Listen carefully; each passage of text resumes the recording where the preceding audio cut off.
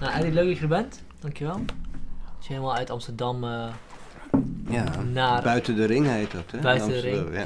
Nou, al buiten Amsterdam is ook geen Nederland meer, toch? Heb ik, eh, Nou, de doppertjes moeten toch ergens in die potjes gedaan worden. nee, maar dat is een grapje. Oké. En je bent eh, met een nieuw filmproject bezig, toch? Of een, een miniserie was het? N- Nou, het is een maxi-serie eigenlijk. Maxi-serie. Nou, we zijn dan met financiering bezig van een, van een grote serie. ja. En hoe gaat het? Waar gaat, waar gaat het over? Het gaat er over, eh, eigenlijk gaat het over Nederland na de Tweede Wereldoorlog. Het is drama, het is een beetje, ja, je hebt in Duitsland heb je zo'n serie gehad, Heimat, weet je, Mhm. dat ging dan over Duitsland na de Tweede Wereldoorlog. Door de generaties heen. En dan Italië heb je La Meglio Gioventù, dat is dan de Italiaanse versie ook, hè, de, de vrienden vanaf, door, door de decennia heen.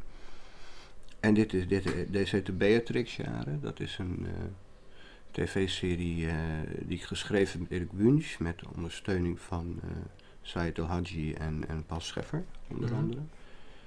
En ehm, die gaan we regisseren met Erik Wunsch en Martin Koolhoven. Mhm. En ehm, ja, dat zijn, eh, dat zijn eigenlijk drie families die je volgt tijdens de, de regeerperiode van Beatrix. Maar je gaat ook terug naar vorige decennia. Dus je gaat dan ook naar de 60er jaren, naar de 50er jaren.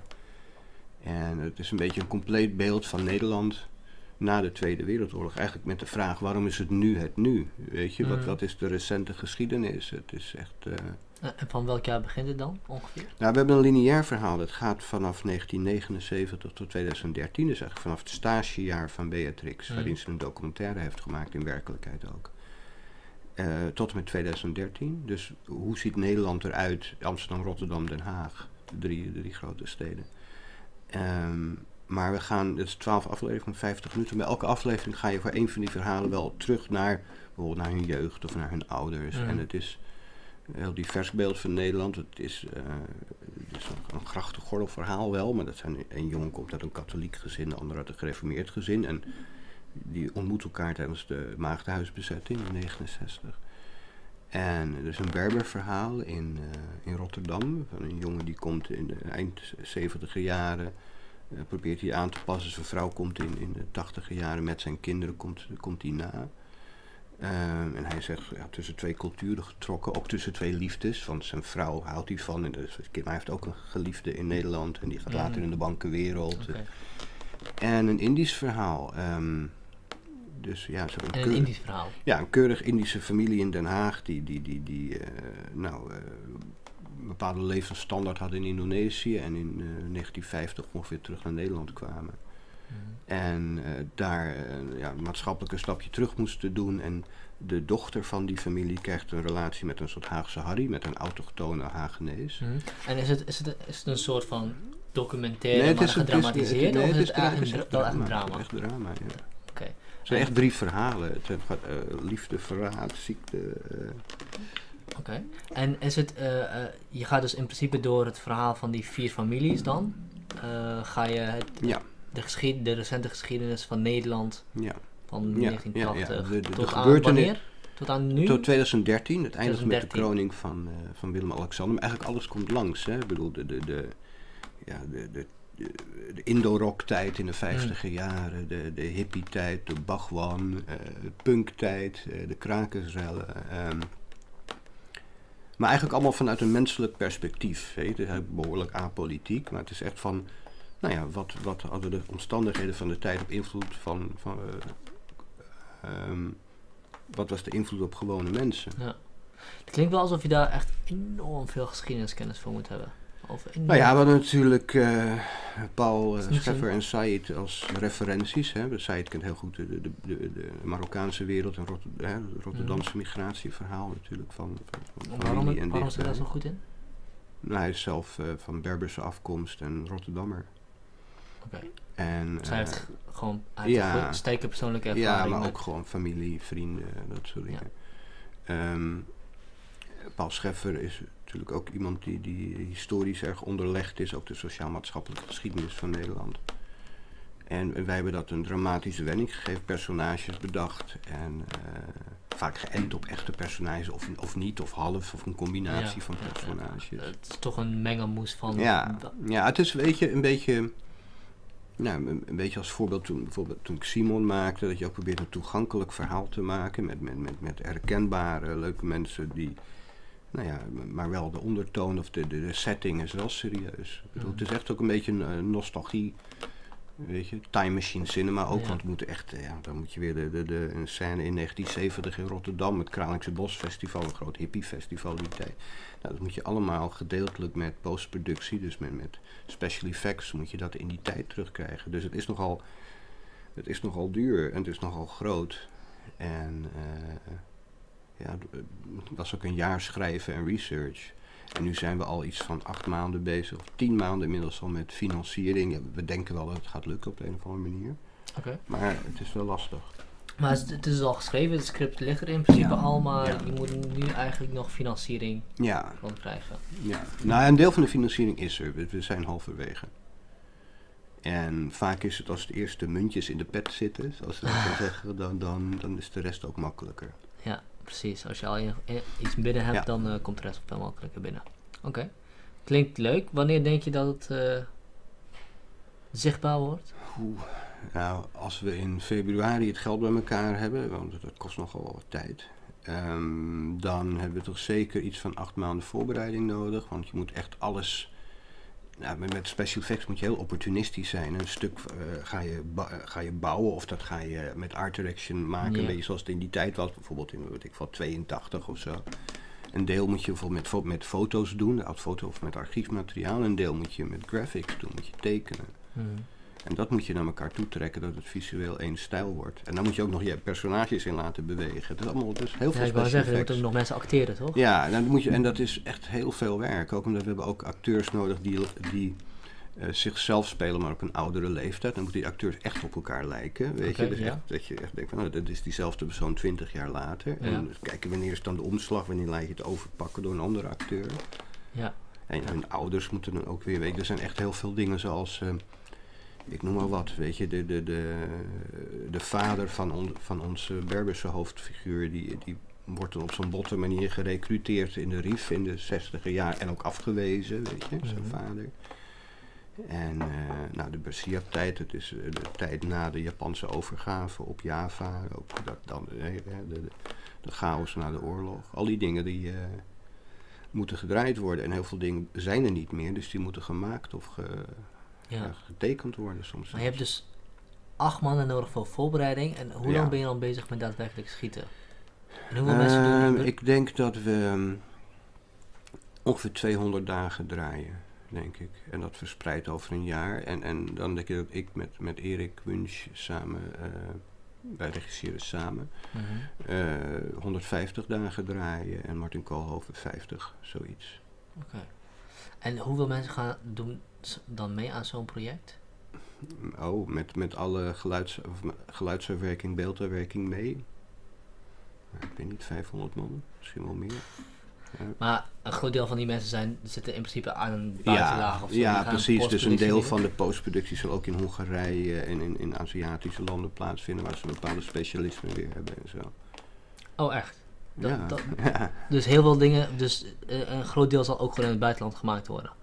Ja, niet te- ja, draaien ook Er zijn ook, er zijn ook scènes in het buitenland. In Indonesië zijn er scènes. Ja. En op Saba en in, in, in de Rif. En, eh, eh, maar bijvoorbeeld special effects. Er zijn gewoon bepaalde landen die gewoon heel goed zijn. Bijvoorbeeld Honga eh, Hongaren en Serviërs. Die zijn bijvoorbeeld heel goed in, in het tekenen, graphics maken Mhm. van, van gebouwen. Weet je, in andere landen kunnen ze bij gezichten goed, maar dat hebben we niet nodig, want we hebben, acteurs hebben we zelf. Maar als we Ja. bijvoorbeeld een stuk van eh, een bepaalde straat in, in Den Haag nodig hebben in 1964, en, en uit een bepaald perspectief met een bepaalde beweging, dan doen ze dat in andere landen. Ja, sommige landen hebben gewoon specialisatie. Oké.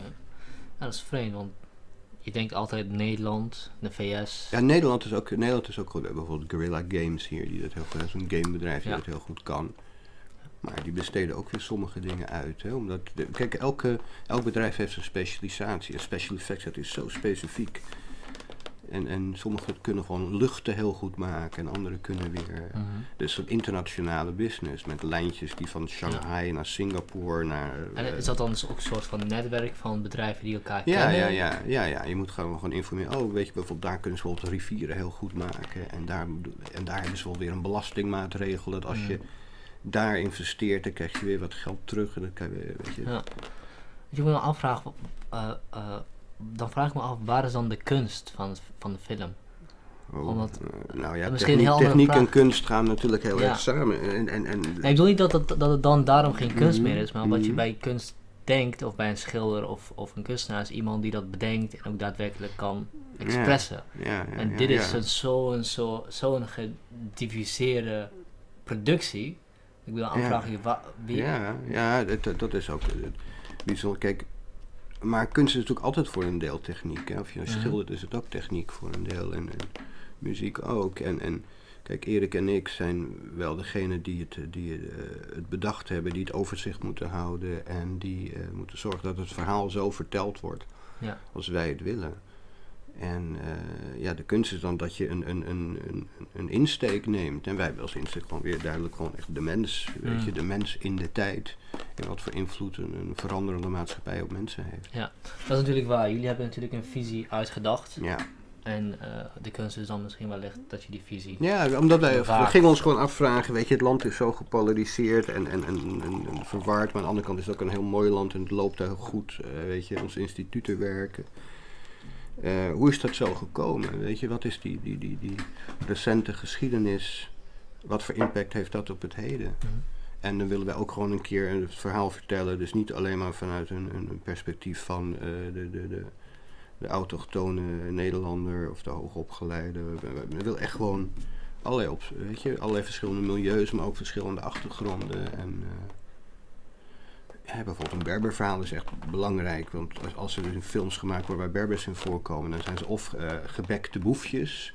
Of ze zijn jaloers op hun zus, of er is radicalisering. En wij willen een keer een verhaal, nou ja, zoals 80, 90 procent van de Berbers het verhaal met mensenproblemen, weet je. Ja. Dingen die de krant niet halen, maar die wel eh, het leven vormen, zeg maar. Dus ook, eh, wa- waar ik dan meteen aan moet denken als je dat zegt, is dat ik... een tijd geleden zag ik een poster van een vrouw met een hoofddoek die lachte. En het viel me op dat ik dat eigenlijk nog nooit eerder gezien had. Een beeld van Mhm. een gehoofddoekte vrouw die lacht.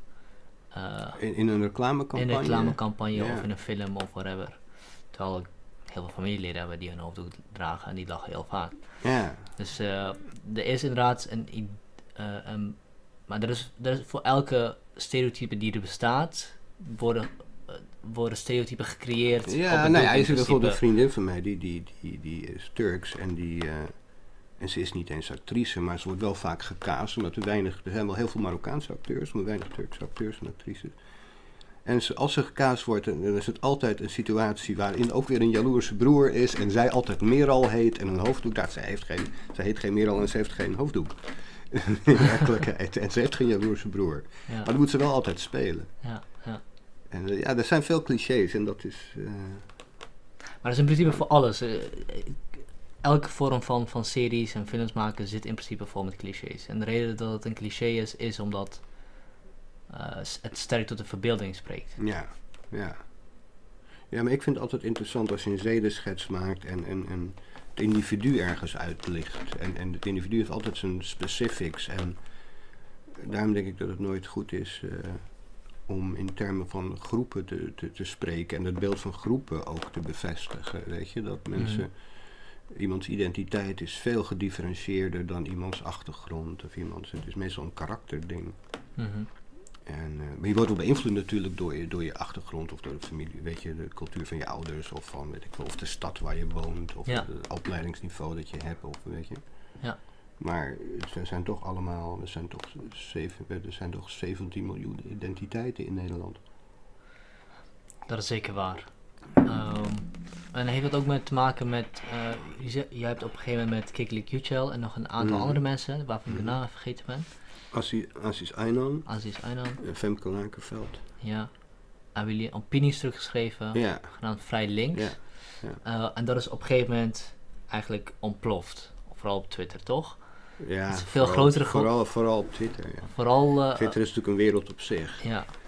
Maar eh, ja, dat was, nou ja, dat inderdaad het beeld van dat het individu weer eens op het schild mag worden gehezen in deze Mhm. fascistoïde tijden waarin alleen in groepen gedacht wordt, waarin eigenlijk er geen grote democratische bewegingen meer zijn. Hè? Want als je ziet overal, er zijn sterke mannen aan de macht, eh, van Poetin tot Erdogan, tot Trump, tot, tot Orbán, tot eh, nu die Bolsonaro in, in, in Brazilië, Duterte, weet je, dus de, de sterke man en, en het groepsgevoel, dat heeft weer de overhand.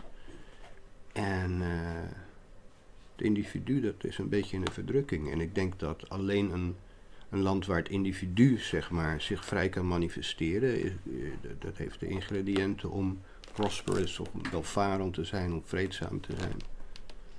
Dus de aanleiding voor dat opi- opiniestuk wat voor jullie was het zien dat de individu steeds minder ja. belangrijk wordt. En dat ja, dat je ziet dat het de identitaire van links en rechts, hè, Mhm. eh, die, daar zijn natuurlijk beide, beide uiterste flanken zijn natuurlijk bepaalde eh, groepsdenkprocessen waarin mensen worden opgedeeld in, in, in, in ras of afkomst of geslacht of dat soort dingen. En dat lijkt ons een vrij fatale weg. En, en we willen ook laten zien dat progressieve politiek, dat links en vrijheid, dat dat, niet- dat dat niet hoeft te vloeken met elkaar. Sterker nog, dat, hè, dat democratisch links heel veel met vrijheid te maken heeft. Mhm. En, eh, en wij merken ook dat, dat ter linkerzijde, als je gewoon naar de kiezers kijkt, dus buiten zeg maar wat kleine activistische groepen en zo, dat die mensen ook helemaal niet in groepen denken over het algemeen. Weet Mhm. je? En ehm, Wat bedoel je dan met de, met de gewone kiezer? nou, gewoon de mensen, de, de, de, de, de, de GroenLinks, PvdA-stemmers die je gewoon in je vriendenkringen in de kroeg tegenkomt, die zijn helemaal niet cultuurrelativistisch of met, met, met, met, met eh, gender of met dingen bezig. Die willen gewoon dat we vreedzaam samenleven, dat er niet gediscrimineerd wordt, dat ze een dat het werken, leren en, en, en wonen, dat het op een hoger plan komt voor mensen die minder middelen hebben. Daarom stemt men over het algemeen links.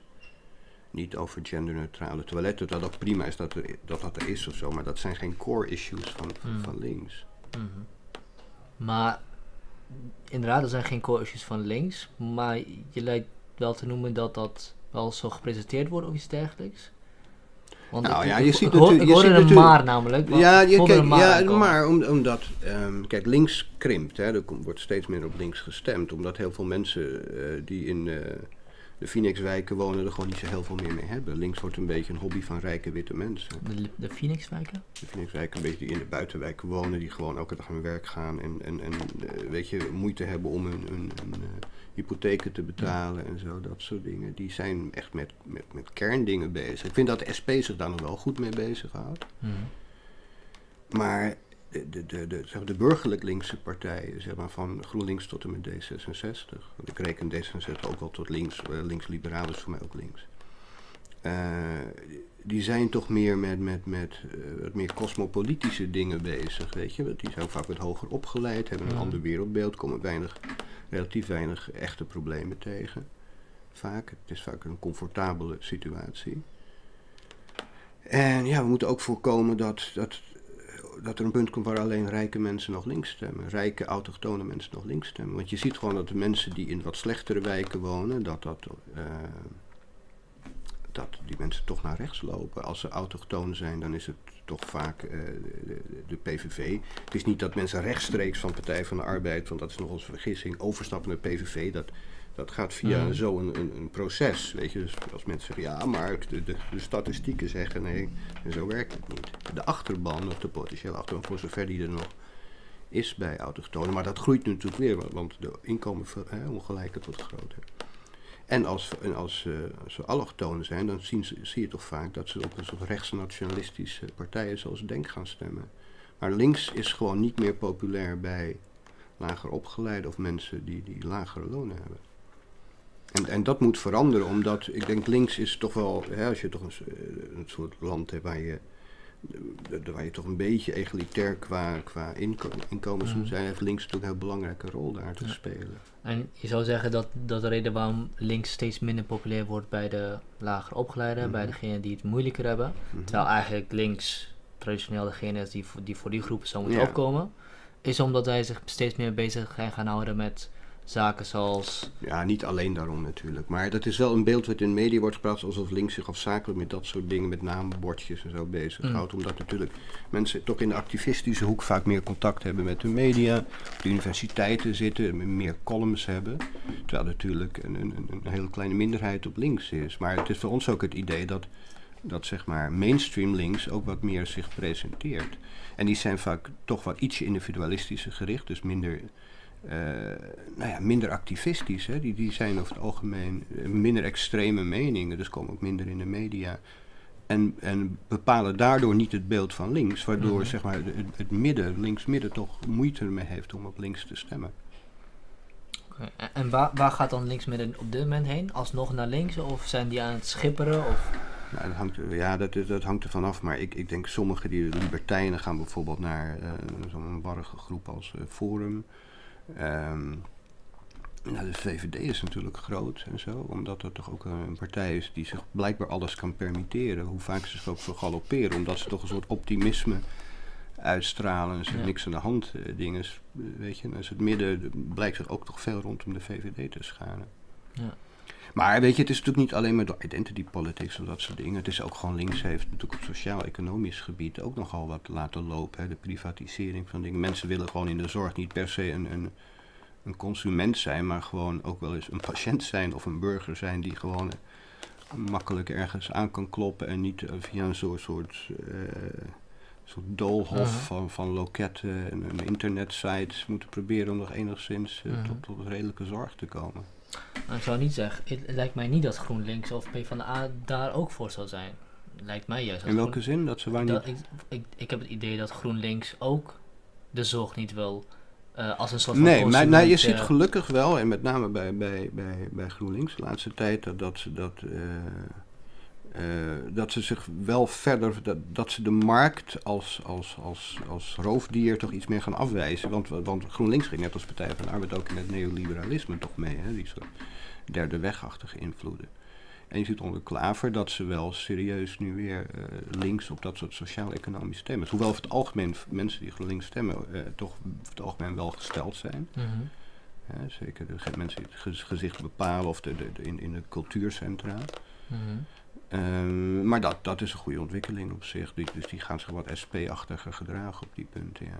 Dus links moet zich echt uh, hergroeperen. Dus rondom dat soort thema's is heel belangrijk. Maar ook vooral gewoon weg van, van de identity politiek. Laat dat maar op rechts, weet je. Ik bedoel, dat, dat, is, dat is niet iets voor links. Ik bedoel, uh, het gaat erom dat je solidair bent. Het is, een, het is ook gewoon te maken, het heeft te maken met, met dat je... Uh, ja, ja dat, dat, dat, je de, de, de harde kanten van uh, de markteconomie te lijf gaat, zeg maar. Ja. Dat je de sociale, sociale marktwirtschaft, zo, sociale markteconomie nastreven.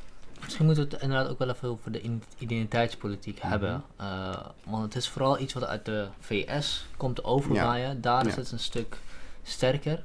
Ik heb een stuk extremer. Een stuk extremer inderdaad. Ik heb het idee dat Nederland nog niet zoveel grond gewonnen heeft. Afgezien van wat randzaken en wat randgroeperingen. Ja, ja die, die, in ieder geval qua volume. Niet. Misschien zelfs, ja. ik, ik, heb het idee zelfs dat het juist bij rechts sterker is. Dat bij partijen ja, zoals denk Denk... Ik, denk, dat, dat denk ik ook. Dat, dat uh, bij Denk en, en, en, en Forum dat dat nog sterker leeft. Maar daar... Kijk, dat is ook een beetje een ding. Identity politics op links is een fringe affair. Dat is een, een, een dat is een, een randgeval of een, een, marginaal iets. Maar op rechts, bij, bij Denken en bij Forum, is het echt een, een, een, core business, zeg maar. En daarom moet links ook. Maar het is wel juist. Bij Denk wel, bij, bij Denk wel een stuk sterker dan. Ik weet niet, ik weet niet of je. Nou, bij Forum ook. Dus toch een soort, raar, soort, een soort, nou, soort romantisch nationalisme, toch? Zeker. Dat, dat, dat nationalisme ja. zie je heel sterk terug. En dat, en dat is ook identity politics. Um, en bovendien, als je dus zeg maar per se uh, als links die strijd op identiteit... Gewoon even, moreel is het sowieso niet juist, maar ook tactisch is het... Je moet rechts niet uitdenken, uitdagen op identity, want ze hebben veel sterkere kaarten. Forum en Denk hebben veel sterkere kaarten qua identity. Dat moet je even uitleggen. Nou, omdat het bij hun uh, Forum en, en, en PVV pretenderen zeg, de Nederlandse cultuur, whatever, de, nou ja, niet whatever ja. dat is, de Nederlandse cultuur te beschermen. Hè, dat is mm. duidelijk een, een groepsdenk... Uh, ding. Nou, Denk heeft heel erg die, die link. Het, het, ik bedoel, het is niet direct de, de lange arm van Erdogan. Het is licht gecompliceerder dan dat. Maar het is wel heel erg bloed ontboden. Hè? Het is echt de groep als, eh, qua afkomst. Dus die kaart hebben ze veel harder te spelen dan links. Als je, dat, als je ze daarop uitdaagt, op identity, dan sloopt, eh, dan sloopt rechts je helemaal. En dan blijft er niets over van links. Dus dat, links moet weer zich hoofdzakelijk bezighouden met dingen die... Nou, li- links lijkt zelfs, lijkt zelfs enigszins ehm, eh, het idee van nationaliteit als identiteit, Mhm. of een nationale Mhm. identiteit te willen, te willen afwijzen.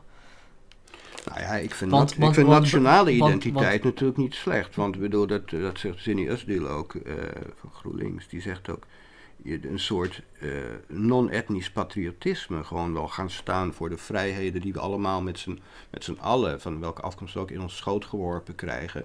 Daar tot iets verbindends te komen. Maar en, en daar is inderdaad een, een soort trots, of trots niet, want trots is onze, want wij hebben die bedacht. Weet, onze voorouders hebben dat voor ons eh, gerealiseerd. Eh, maar, maar dat omarmen, maar dat omarmen met Ja. z'n allen, weet je, burgerschap. Ja. En, ehm, en dus helemaal niet dan in etnische lijnen gaan denken, want daar, ja, de rattenvangers, eh de rechterzijde en, en extreem linkerzijde, die, die, die, die profiteren daarvan. En, en, en, en eh, daar wordt het, het, Nou, het, land, het land door, ja, weet je, voor, als je dat toch over nation building hebt, wat wel belangrijk is, denk ik, dat er een sa- saamhorigheidsgevoel is mhm. Dat, dat er een depolarisatie plaatsvindt. Nou, dat Mhm. betekent toch dat, dat eh, democratisch links en democratisch rechts zich daar elkaar wel moeten gaan vinden, Ja. denk ik. En dan denk ik, even om de advocaat van de duivel te spelen, ik denk dat zowel Forum als GroenLinks eh, dit verhaal wat jij nu vertelt zouden willen claimen. Ja, voor een, links, deel, een deel daarvan natuurlijk. ja, een deel voor links zit is het ook het, in... is het, voor GroenLinks is het, is het zo inderdaad, we hebben heel veel verworvenheden, daar moeten we Ja. verantwoordelijkheid Ja. van voelen. Ja. Eh, maar het feit alleen maar dat iemand hier geboren is of dat iemand hier met de Mhm. grens, eh, de grens oversteekt, Mhm. eh, wil niet zeggen dat de een of de ander meer recht daarop Nee, heeft. uiteraard niet. En Forum zegt dit heel erg uitgesproken zelfs. Ehm, als wij mensen blijven binnenhalen hier die die morele of eh, Ja. mo- dat moraal niet hebben, Ja, zal dat gaan verwateren. Dus Ja. beide willen twee ja verschillende maar dingen goed, doen. dat is natuurlijk, natuurlijk ook wel een punt, daar gaat het niet om. Maar er zit bij hun toch een soort fatalisme, cynisme, met, eh, een beetje omkleed met complottheorieën en dat soort dingen. Dat dat de bedoeling is en dat de migratie vanuit buitenaf wordt Mm. gestuurd en dat soort dingen. Dat natuurlijk on- Mhm. onzin is. Er zijn natuurlijk wel gedachten daarover door sommigen, maar ook in eh, zowel nationaal als in de EU zijn er zoveel verschillende gedachten over. Er is eerder een soort verwarring van wat men met de nieuwe tijden aan moet, dan dat er een Big Brother is die dat stuurt. hè. Mhm. Dan, dan, eh, van de week ook weer met, met het, eh, ja, het, traktaat van Marrakesh of zo. De- dat, dat dan, daar wordt dan ook weer van gezegd dat dat een, een soort juridisch bindend iets is en dat eh, de Big Brother ons zeg maar eh, de, de, de omvolking inluistert. Ik weet En niet dat waar is het gaat. nou ja, de- dan zou er dus een, een, een, een contract moeten worden getekend in Marrakesh, waarin een, een, eh, dat zeer migratievriendelijk zou zijn, om het maar zo Mhm. te zeggen. Maar er wordt dan de suggestie gewekt alsof dat een soort bindend, bindend iets is, waar zeg maar alle nationale en, en, en Europese autoriteiten zich aan zouden moeten gaan houden. En dat is natuurlijk niet zo. Wat wel zo is, is dat dat gewoon, ja, er is gewoon, er is natuurlijk enorme migratielust natuurlijk van, Mhm. eh, van mensen van altijd van rijke naar arme gebieden. En het is wel zinnig om erover na te denken, wat is de rek van een verzorgingsstaat? Het zou onverstandig zijn eh, om daar niet serieus over na te denken. Waarom zou je over alle planologie serieus nadenken, behalve over deze, omdat er een taboe op rust? Ik denk, ja, in, in, in vooruitplannen moet je natuurlijk... eh, Ja. ik denk niet dat er 30 miljoen mensen in eh, eind van deze eeuw hier kunnen gaan. Ik weet niet hoeveel, er, weet je wat, wat de aantallen zijn, maar T- t- 22, 24 miljoen aan te berekenen. ja, ja nou ja, goed. Paul Scheffer zou ook zeggen van een krimp is ook niet wenselijk, hè, want er is natuurlijk wel zoiets als vergrijzing, maar hoe ga je dat opvatten, opvangen? En, en als er dus mensen met verschillende waar die krimp opvattingen. plaatsvindt. Als, als de krimping op de, op de hoogste eh, leeftijdsjaren plaatsvindt, dan is het Ja. denk ik zo'n probleem. Ja, nee, dan is het geen probleem. En bovendien ook met, met robotisering. eh, je- Kijk, het, het- er zijn zoveel componenten die meespelen. En op een 70 jaren manier naar deze problematiek te kijken. Als je van er is vergrijzing, dus er hebben meer mensen nodig die meer kinderen hebben. Dat is natuurlijk veel te, te simpel gesteld. De we- wereld is, te- is veel complexer dan dat. Ja, ja. En, en ik ben het zeker niet met Forum eens in hoe zij, hoe zij hun eh, verhaal eh, weergeven. Ik denk dat daar Mhm. veel problemen aan zitten. Maar, en, dus de vraag, de vraag hoe rekbaar is de verzorgingsstaat? Ja, ik denk wel ja dat is een, maar dat is een zinnige vraag. Dus uh, ik bedoel, zij zijn wel, werken wel als een koevoet en, en, en stellen een aantal belangrijke dingen aan de orde. Uh, hè, dat, dat moet je ze zeker meegeven. En een deel van de forumkiezers zullen ook gewoon libertijnse mensen zijn die, die, die gewoon de civiele samenleving overeind willen houden. Alleen ze moeten inderdaad heel voorzichtig zijn met waar ze zich allemaal mee associëren. En, en, en dat, dat baart mij wel zorgen, ja. Oké. Okay. Uh, en er is een enorme reactie. Uh, even terug naar, het, uh, mm-hmm. naar de opiniestuk. Want jullie hadden het eigenlijk geschreven als een opiniestuk. En ja. dan kwam, dan kwam identiteitspolitiek naar voren. Dan ja. kwam de ja. individu naar voren. Ja, het, was eigenlijk, het zou eigenlijk een essay worden voor, mm-hmm.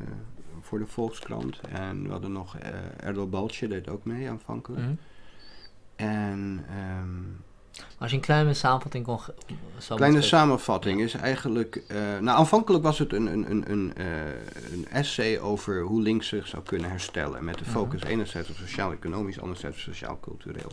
Dat was 1800 woorden, tot op een gegeven moment zei. Uh, en zichzelf kon herstellen op het politiek platform? of more, moreel? moreel, en, tactisch, okay. op al die punten, zeg maar. Dus gewoon zichzelf weer kon, kon ontdekken.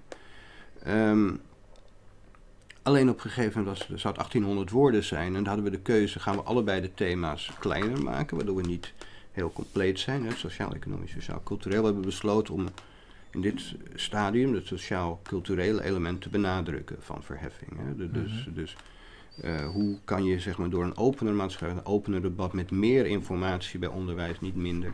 Mhm. Um, dat je, nou ja, ook zeg maar mensen in, in, in, in de wat minder welgestelde wijken gewoon uh, de kans geeft, meer de kans of de belemmeringen weghaalt, zodat mensen gewoon geïnformeerdere en completere burgers worden. Dus bijvoorbeeld door, uh, uh, ja, we hebben dan ge gesteld dat bijvoorbeeld dat, dat bij vrijheid van onderwijs, dat je moet gaan kijken, gaat het niet om de vrijheid van onderwijs van het kind, in plaats van de ouders. Um, bijvoorbeeld door alleen maar openbaar onderwijs te doen. Dat is natuurlijk geen doel op zich. Het zou hoogstens een ultiem middel zijn. Als je dat kan doen binnen de situatie waarin bijzonder onderwijs bestaat. Dat je gewoon meer burgerschapslessen. Dat je kinderen zeg maar introduceert bij.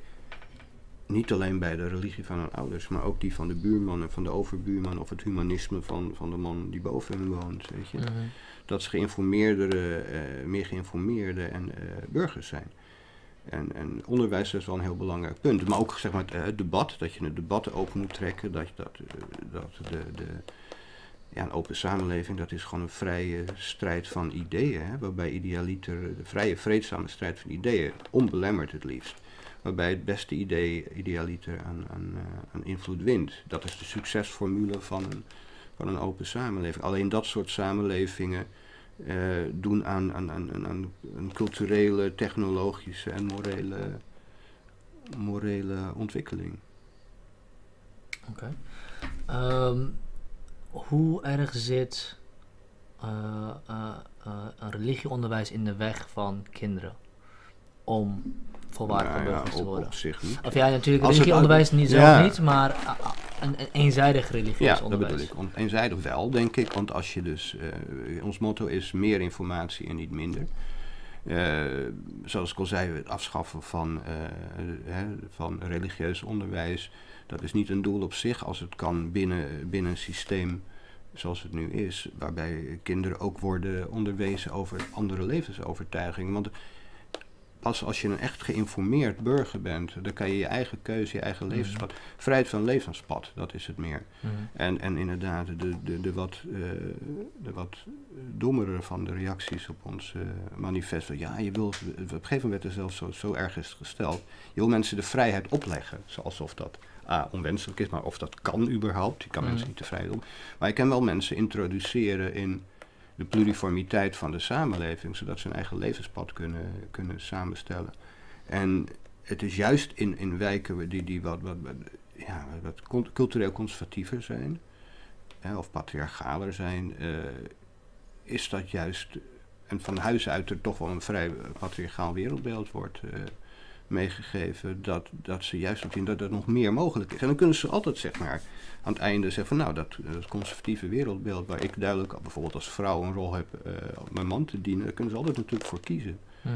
Weet je, niemand zal iemand eh, in de weg zitten als ze vroom en, en, en kuis door het leven willen gaan. Maar ook niet als ze, bij wijze van spreken, eh, met, met een rugzak naar Australië willen, eh, doen, willen reizen, terwijl dat bij hun ouders eh, niet gebruikelijk was.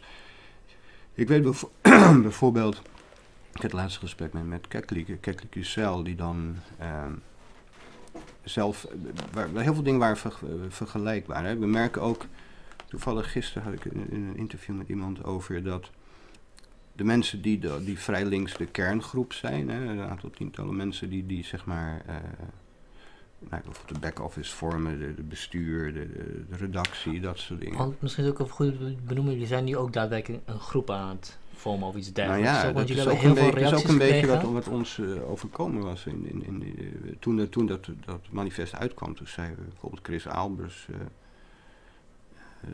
politiek journalist, die zei van ja, maar dit vindt toch iedereen? Dit is toch geen, dit, ligt morgen toch in vuilnisbak, want er zijn zoveel open deuren. Dus zei ik, nou ja, wacht maar af. En inderdaad vinden wel veel mensen, maar lang niet iedereen. Dus zoveel mensen, eh, heel veel mensen die, die reageren zo van, kijk, als de focus op het individu en, en solidariteit en niet de groepen en solidariteit binnen groepen, als dat discours waar is, dat van dat het individu juist op de voorgrond moet staan, hè, en dat het solidariteit niet in de weg staat, dan is ons discours van dat je via groepen moet manifesteren, is dan niet waar of minder waar. Dus die zijn hun discours aangevallen, en zeker op links is dat dan een probleem. Mhm. Nou, dan kan je een aantal dingen zeggen. Het is onzin of het is rechts, dat is ook een ding. Weet je. Dan, dan Mm. denken ze het dan ook mee te kunnen disqualificeren. Ehm, Want jullie hebben ook heel vaak het verwijt gekregen, want ik volg jullie wel op, wel op Mhm. Twitter en dergelijke. Eh, jullie krijgen ook heel vaak het verwijt dat jullie in principe gewoon rechts verhalen aan het vertellen zijn. nou ja, het is natuurlijk een je verhaal, een verhaal waardoor een deel van, in ieder geval sociaal-economisch, wordt door een deel van democratisch rechts, of misschien ook zelfs de, de, de, de- de, eh, wat steviger rechts, eh, wordt dat natuurlijk ook wel omarmd. Maar het is natuurlijk ook, en met name juist een links verhaal, omdat bij links is natuurlijk, kijk, links heeft natuurlijk een heel duidelijk beeld, altijd al gehad, eh, een supranationaal beeld over de, eh, alle culturen en landen heen. Over de vrouwenrechten, later homorechten. Maar ook het vrije woord, wat, wat eigenlijk het belangrijkste instrument is van de gewone man, die geen kapitaal heeft om zich te, te verdedigen, dat hij zich mag uitspreken.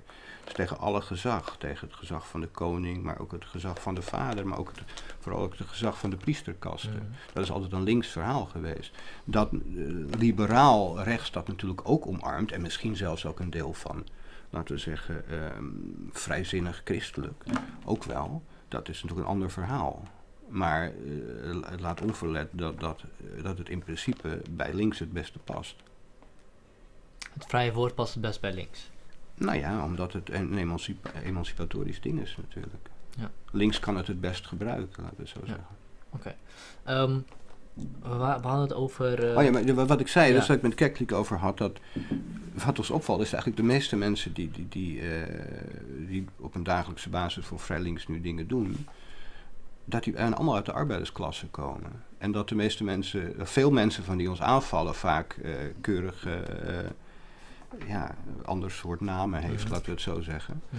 En, en, en, en dat, dat is ook een beetje wat ons bindt. Dus, dus ja, wat, wat- als ik naar kijk naar die groep, dat zijn mensen over het algemeen niet wereldvreemd zijn. Die wel eh, stappen hebben moeten nemen, die, die, die bepaalde sociale afstiek. eh, of, Bedoel je dan een groep mensen die tegen jullie zijn? Of? Nee, van die, de, Die van de vrij. Ja. Kijk, aanvankelijk was het zo dat heel veel mensen die zich bij vrij links melden, eh, hebben, dat was natuurlijk wel voorspelbaar dat mensen van, met, vaak van Turkse afkomst, Marokkaanse afkomst of uit, uit eh, gayhoek eh, kwamen.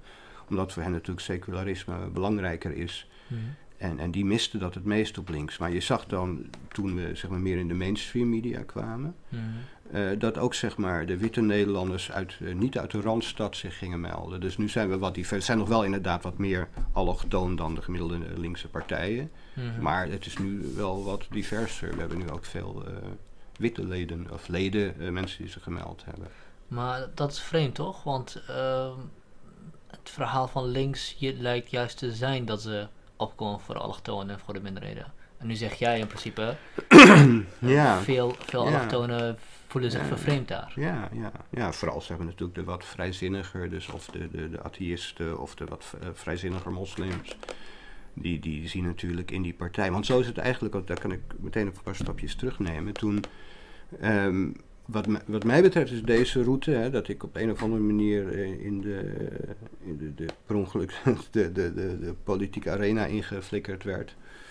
ehm, was eh, Theo van Gogh was overleden en of overleden vermoord. Eh, en ik was, nou voor die tijd was ik semi-actief lid van de Partij van de Arbeid. Ik folderde en ik zat in wat van die praatgroepen en ik adviseerde af en toe wat, wat beleidsmakers.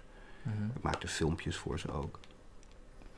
En toen kwam ik op een gegeven moment, eh, toen Theo vermoord was, in het debat terecht. En toen zei ik bepaalde dingen die, die dan nogal seculier waren. En eh, vanaf dat moment werd ik heel veel benaderd door partijleden van Turkse en Marokkaanse komaf met name. Die, die ook seculier waren of, eh, of, of atheïstisch of seculiere moslims.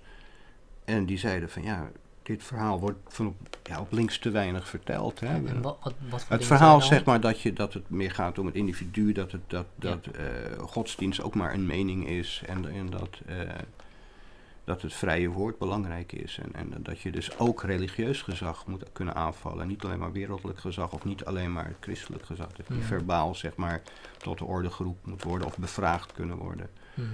En ehm, toen ben ik met Marcel Duivenstein, een ander PvdA-lid, zijn we een, website begonnen, Liefdevol Lid. En, en nou, vanaf dat moment kregen we steeds meer kregen een soort ombudsmanfunctie voor Turkse Marokkaanse PvdA'ers. Die steeds naar ons toe kwamen en zeiden van, maar waarvoor is in de top van de partij, waarom krijgen alleen maar eh rechtse, nationalistische of, of, of religieuze groepen toegang tot die partij? En zeker op gemeentelijk niveau, waarom zijn juist zij het die, die het beleid eh, mede vormgeven en niet de linkse geestverwanten van de partij, zoals wij. Waarom worden wij als lastig gezien? Waarom worden wij bij, verkiezing, bij kiescommissies altijd door een of andere uh, AK-partijfiguur of Miligurus figuur altijd meteen terzijde geschoven? Waarom mogen linkse Turken en Marokkanen niet meepraten? In linkse partijen. In linkse partij. Ja. En dit was eh, vlak na de eh, moord op Theo van of, eh, ja, eh, ja, dat begon een beetje in 2004. Dat was natuurlijk ook al in de negentig jaren zo. En ik, ik had dat natuurlijk, omdat ik was daar niet zo mee bezig. Ik had dat niet, dat was niet op een netvlies. Maar je, zag zeg maar aan de hand van eh, de verhalen die wij dan te horen kregen... eh, nou ja, dat bev- bevestigde een beeld die helaas ook op rechts werd eh, geprojecteerd op de, de, de, de PvdA. Dus je dat ook, kijk, en, en, en dat beeld was Dus helemaal... bij, de, bij de politieke leiding, die waren soms best wel vrijzinnig. En die zagen dat ook wel. Want de Bos zag dat ook wel. En, en eh, Asscher ook tegenwoordig. En Samson zag het ook wel, maar, maar die was daar niet zo mee bezig. Het was niet zo zijn, zijn, zijn Mhm. kernpunt. Ehm, maar ja, dan, dan, dan op een gegeven moment eh, nou, ga je er meer over lezen, hoor je steeds meer dingen. En, en zie je ook, ga je ook buiten de grens kijken en dingen lezen. En zie je dat in landen om ons heen dat ook wel zo is. Dat je ziet dat mensen met een migratieachtergrond die, die links seculier of vrijzinnig zijn, eigenlijk alleen maar als lastpost werden gezien. En dat het de rechtse eh, groepen die vaak sterke banden hadden met, met, het, eh, het moederland, dat die het waren die, eh, die vaak zeg maar, het beleid, het immigratiebeleid mede vorm gaven. Dus eigenlijk is dat heel kolonialistisch. Het is net alsof je in Java vroeger in 2010, dan ga je met de sultan praten over hoe het met zijn gevolg zit. Weet je? En het individu werd niet aangesproken. En ik denk dat het, het individu eh, is. nou, met individu deel- bedoel je mensen die individualistisch denken.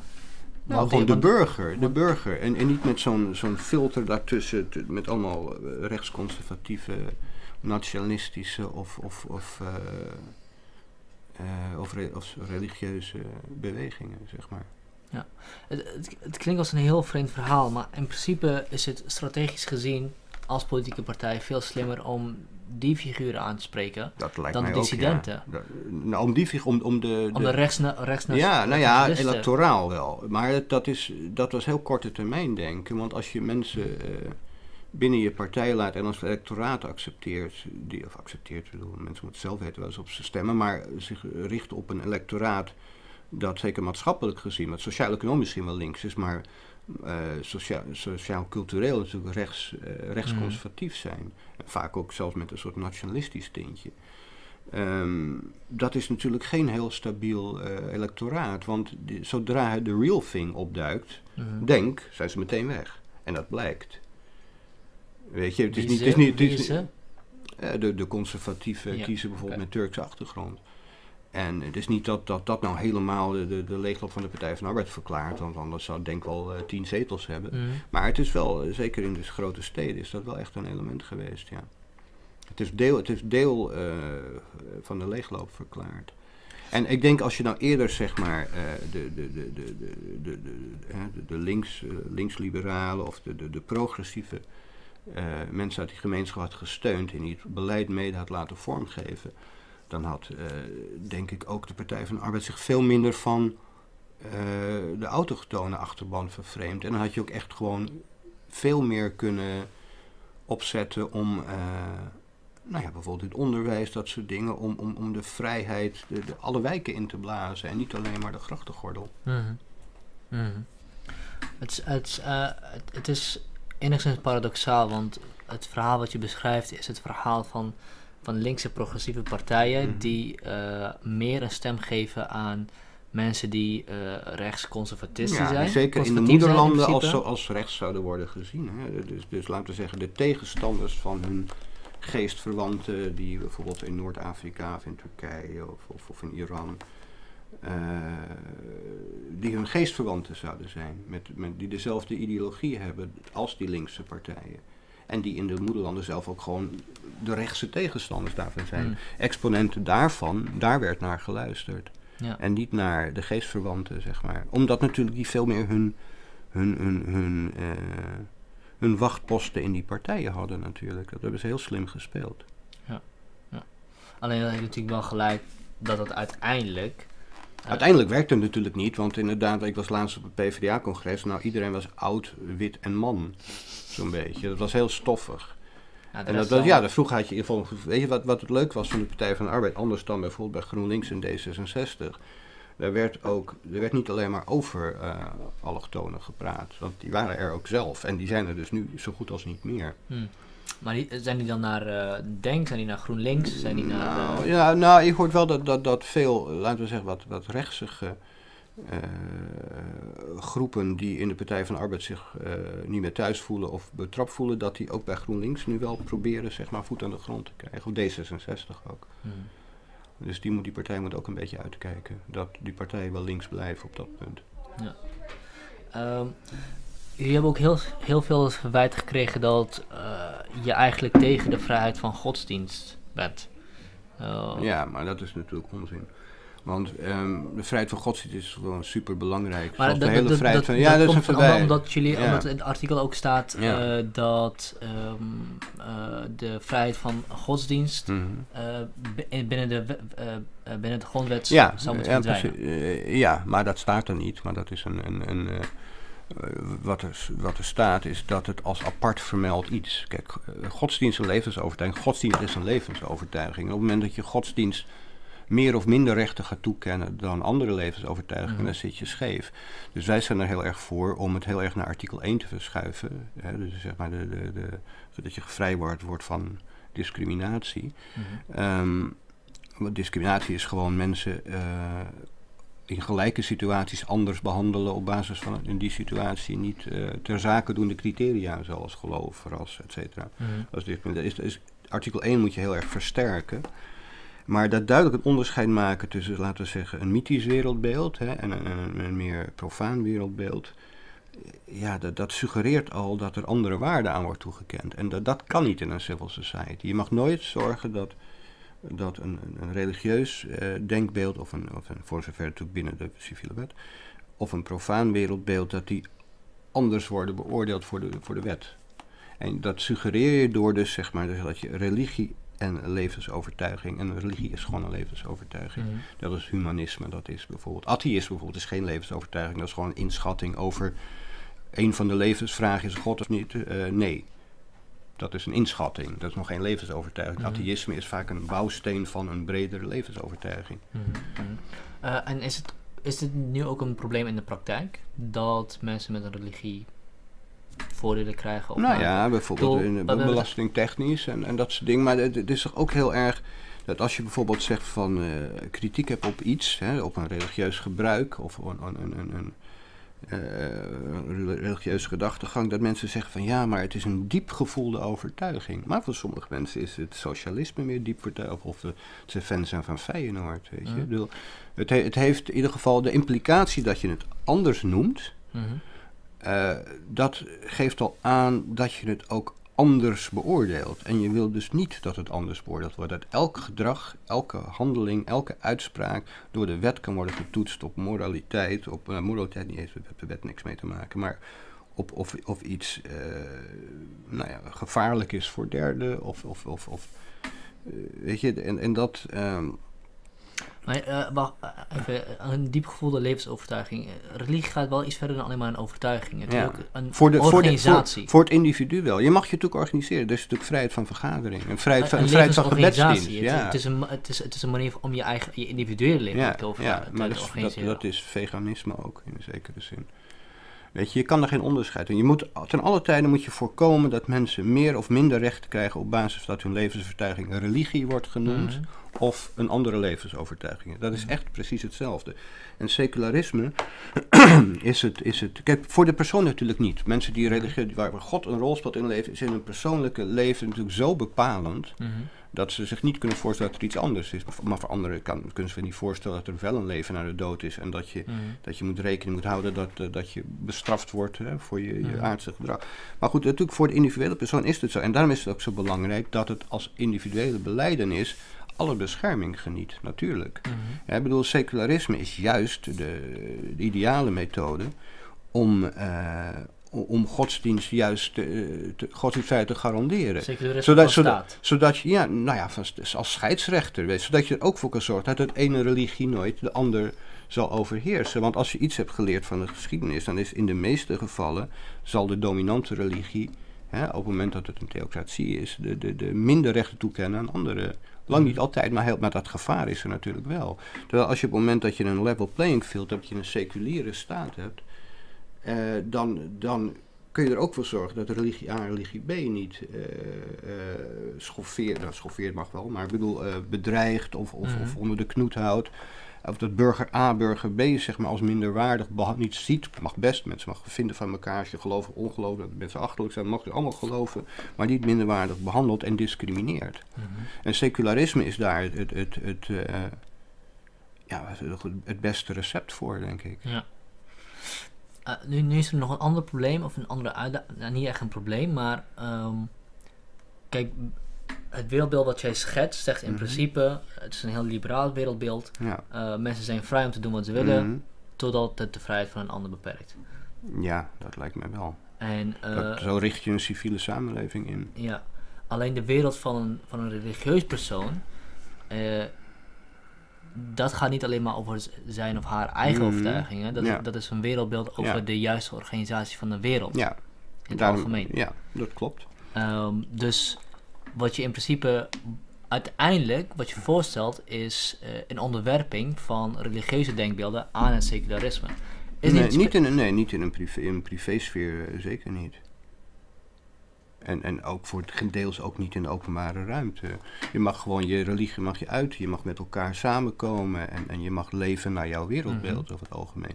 Tenzij het inderdaad, als bij wijze van spreken, eh, als mijn wereldbeeld zou zijn dat, eh, dat ik eh, elke dag. we- we- we- weet je, nou, als, Ja. je, als je andere mensen zeg maar echt in de weg zit met jouw wereldbeeld, en dat is pas in een. Dat is pas alleen in een zeer extreme situatie zo. Mhm. Kijk, want mij, mij eh, stoort het niet als ik kerkklokken of een moskee eh, hoor of zo, weet je. Mhm. Maar echt gewoon dat men mij zou... Mij zou het wel. Mij zou... wel. Ja, nou ja, oké, ja, dat, dat, dat Dus, is zo. eh, dus mag je dan de kerkklokken dan, zou die dan weg moeten? Of, of hoe, nou hoe ga je daarover eh, besluiten? Nou ja, democratisch. Democratisch. Kijk, eh, alleen, dat zit met democratie heeft natuurlijk ook wel zijn beperkingen, dat democratie soms de rechten van een minderheid eh, eh, in het gedrang eh, brengt. Hè? En Mhm. daar moet je gewoon, dat is even met, met beschavingsontwikkeling te maken, dat, dat je mensen zegt van nou dit en dit is gewoon voor onze groep heel belangrijk en dat je daarover onderhandelt. Niet dreigt of eist, maar gewoon dat je gewoon zegt van dit zouden wij graag willen. Dus, nou, zet het dan zachtjes of doe dat dan één keer per dag of weet ik veel wat. Of, of Mhm. Weet je, ik, ik denk dat, dat je niet. ehm, ehm, nou ja, ik denk ook dat je secularisme dat kan je verschillende gradaties. Hè. Je hebt natuurlijk de heftige variant, zoals de Turks of de Tunesische of de, de, de, de, Franse variant. Ik denk dat bij Nederland een wat mildere versie zou passen, denk ik. Ook omdat wij die traditie in iets mindere mate hebben dan bijvoorbeeld in Noord-Afrika of in Frankrijk. Voor mij bijvoorbeeld, ik zou het prima vinden als mensen mijn paspoort eh, afgeven als, als ambtenaar, als ze een keppeltje of een hoofddoek of een kruisje dragen. Maar uiteraard liever niet bij de, de bij de wetgevers, en de, de wet, of wethandhavers en, en de rechterlijke macht natuurlijk. Want daar is ook, geen, want daar is ook geen. Uh, nou, om, omdat het ene heeft implicaties over. Dat heeft verdergaande implicaties voor degene. In ieder geval in de perceptie van bijvoorbeeld een verdachte of, of iemand die aangifte doet dat de, degene die de aangifte aanneemt of degene die, die, die daar thuis eh, een, een, een, een huwelijksgeschil komt oplossen, mhm. als diegene door zijn uitdossing al heel duidelijk zijn levensovertuiging eh, geeft. Dus dat die persoon niet alleen maar zegt, ik ben een politieagent, dat zie je aan mijn uniform, maar ik ben een politieagent met die levensovertuiging. Mhm. Ik wil ook geen rechter met een PVV-petje of met een Feyenoord-shirt. Mhm. Weet je, dat... dat ja, goed, maar bij die persoon zie je het. Alleen er zijn genoeg mensen waarbij je het niet ziet en die ook een heel sterke ja, nou ja, maar, nee, maar ik bedoel, ik heb er hartstikke respect voor als iemand zeg maar, hartstikke religieus is, maar op het moment dat hij zijn functie. Uh, maar ik bedoel is, je kan, je kan seculier zijn en vinden dat, uh, weet ik veel, in een huishouden vrouwen veel meer problemen veroorzaken dan mannen. Dus je komt een huishouden binnen waar een huishouden geschikt. Maar je wordt, kijk, maar eh, dit is. Uh, er zijn sommige dingen echt duidelijk een religieuze, een, een, een, opvatting van een levensovertuiging. Die mhm. niet noodzakelijkerwijs diegene is van degene met wie je in de maatschappij te maken krijgt, die je moet beoordelen of die je moet helpen of die je moet inrekenen bijvoorbeeld. En als het in de perceptie van de burger, uh, de, de wethandhavers en de rechtspraak niet neutraal is, omdat sommige personen iets anders uitdragen, dan kan dat niet. En ik denk dat dat iets wat ook heel breed uh, gedragen wordt in, in, in, in uh, zeker in continentaal Europa, dat, dat daar weinig uh, draagvlak voor is om dat anders te doen. In Engeland is dat trouwens anders, want daar is gewoon een, een hoofddoek van een, een, een sick politieagent of een hoofddoekje. Ja. In de Anglo-Saxische wereld is dat echt anders, maar die hebben echt een andere traditie. En dat is toch een beetje vanuit een soort uh, postkoloniale wereld, waar je ook dus weer zeg maar, via de religieuze entiteiten met de bevolking onderhandelde, waarbij religies, uh, groepsidentiteiten een, een, een een, een, een, belangrijke bouwsteen in de samenleving zijn. En dat is in Nederland uh, anders. Mag dat eigenlijk niet in Nederland? Ik weet, niet, uh, ik weet niet hoe het zit. Mag je in Nederland als politieagent een kruisen voor een hoofddoek of... Nee. Nee, hè? Nee. Volgens mij, maar dat zou ik moeten uitzoeken, is het in continentaal Europa mag het vrijwel nergens. Maar volgens mij zijn ze in Zweden erover aan het praten. Mm om het toe te laten? Ja, om het toe te laten, mm ja, geloof ik. Maar dat moet ik even uitzoeken, dat weet ik niet precies. Um, ja, dat betekende wel dat, kijk, een, een, een, een kruis kun je afzetten. Ja. Uh, een hoofddoek niet. Dat kan wel, maar. Nou, ja, oké. Dan kan je, niet, bij, je kan, kan je niet bij de politie werken. ja, dat is, het, dat is het Kijk, de, het dragen van een kruis is heel, heel iets anders dan het dragen van een hoofddoek in de beleving van de individu. Dus wat je in principe zegt, of de, wat de gevolgen zijn van het regelen. Precies, maar in de beleving van een individu, daar kan de wet natuurlijk niet zo heel veel mee. Het is, de, facto is zijn beide een, zijn beide een, een, een religieuze uiting. Mhm. En dan mag de, de wet ook geen onderscheid tussen maken. Ja, eens. Uh, maar het doel van de wet is, of de, de, uh, de wet moet wel, zal wel moeten proberen uh, te zorgen dat elk individu zijn of haar leven zo goed mogelijk kan ja. voltrekken. Ja. Ja, alleen je kan daar, nog, daar nogmaals heb je bijvoorbeeld iemand die bijvoorbeeld een, een, een, een uh, als levensovertuiging, en nogmaals, daar mag je geen onderscheid tussen maken, want anders mhm. kom je echt op een helend vlak. Iemand die, uh, die een punker is, die, die, die, die uh, of die tattoos in zijn gezicht heeft, of een neusring, mm. kan je wel zeggen, ja, dat kan je niet vergelijken. Ja, dat kan je wel vergelijken. Misschien, misschien in praktijk is, dat, hè, is een, een religieuze overtuiging iets wat mensen meer, uh, wat meer wortels heeft, zeg maar. Maar voor de wet kan je natuurlijk niet de ene levensovertuiging A en B, laten we ze zo maar eens noemen, anders behandelen. Dat kan gewoon niet. Mm je kan, als bijvoorbeeld de punker zegt, ja, maar die hanenkam en dingen, dat is echt iets van mij. Mhm. Als ik dat afdoe, voel ik me echt iemand anders. En dat betekent dus dat als hij die uitdossing wil blijven behouden, kan hij niet bij de politie werken. Een heleboel dingen kan hij wel doen. Mhm.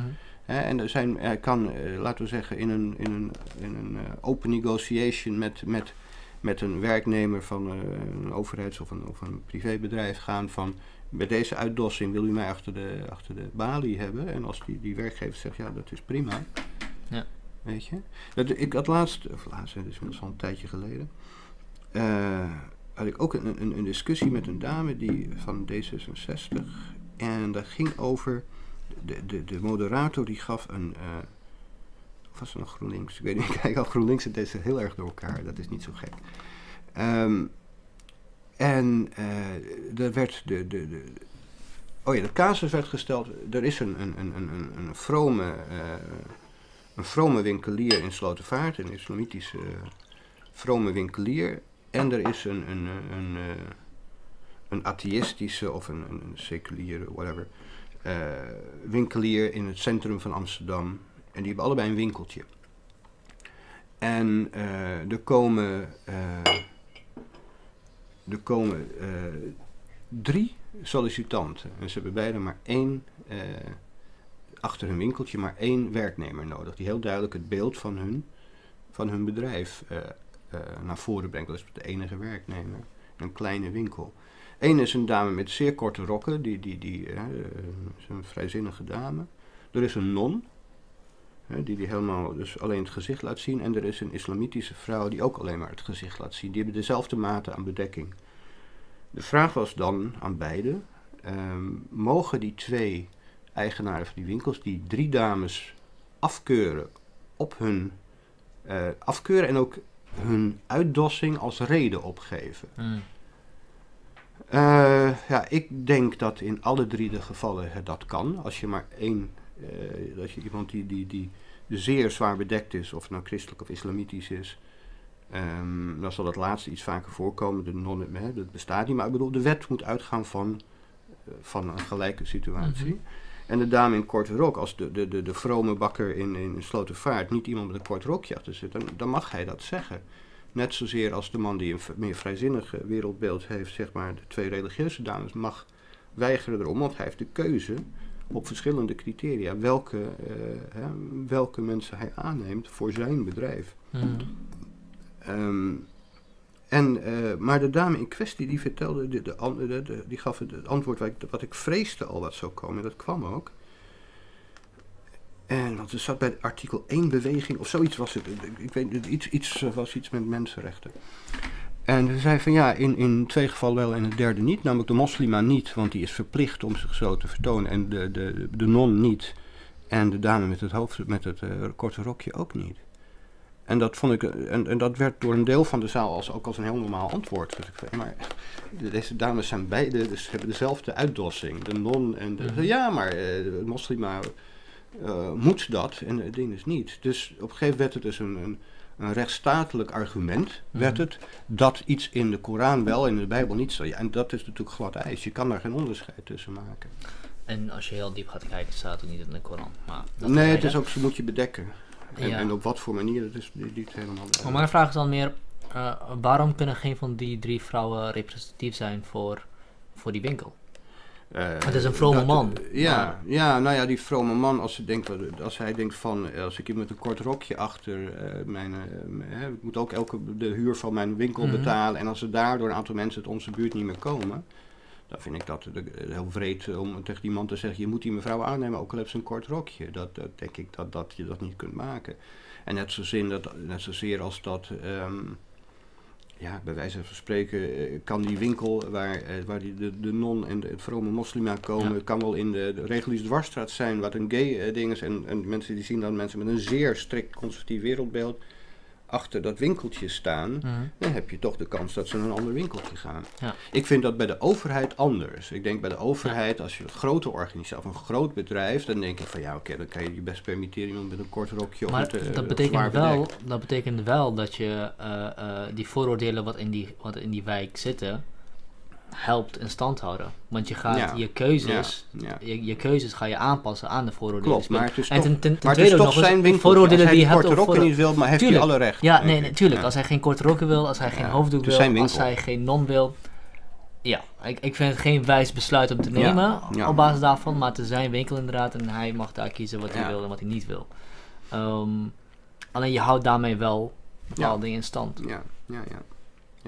Maar er is maar een bepaalde mate waarin, eh, qua het opleggen van een levensovertuiging, de overheid proactief mag zijn. Ik denk dat de burger voor een heel groot deel toch zelf zijn eigen, zijn eigen levensopvattingen moet kunnen eh, vormgeven, denk ik. Ja, ik zou En dat bedoel ik, dat, dat bedoel ik dat secularisme mag niet op zijn Jacobijns zijn. Ja. Het moet niet, een- het moet niet eh, dan is het inderdaad wel de vrijheid opleggen. Hoe dom die uitspraak is, de vrijheid op. Maar dan is het wel, dan dwing je mensen wel tot iets. ik denk inderdaad en dwang dat, mag nooit een. eh, ik denk ook inderdaad dat het, dat het een grotere kwaad zal zijn om die man te dwingen om een zijn. van die drie aan te Ja, nemen. dat denk ik ook. Eh, maar hij kan ook kledingvoorschriften hebben en zeggen: dit zijn de regels, Ja. kun je daaraan houden, ja of nee? Ja, natuurlijk kan dat. En dan kan de, de, de kunnen de, de, de, En dan, dan, dan dan, kunnen dan de twee niet- vrome dames en de, en de korte rokjes dames, die kunnen zich dan eh, daar, eh, als ze willen, naar schikken.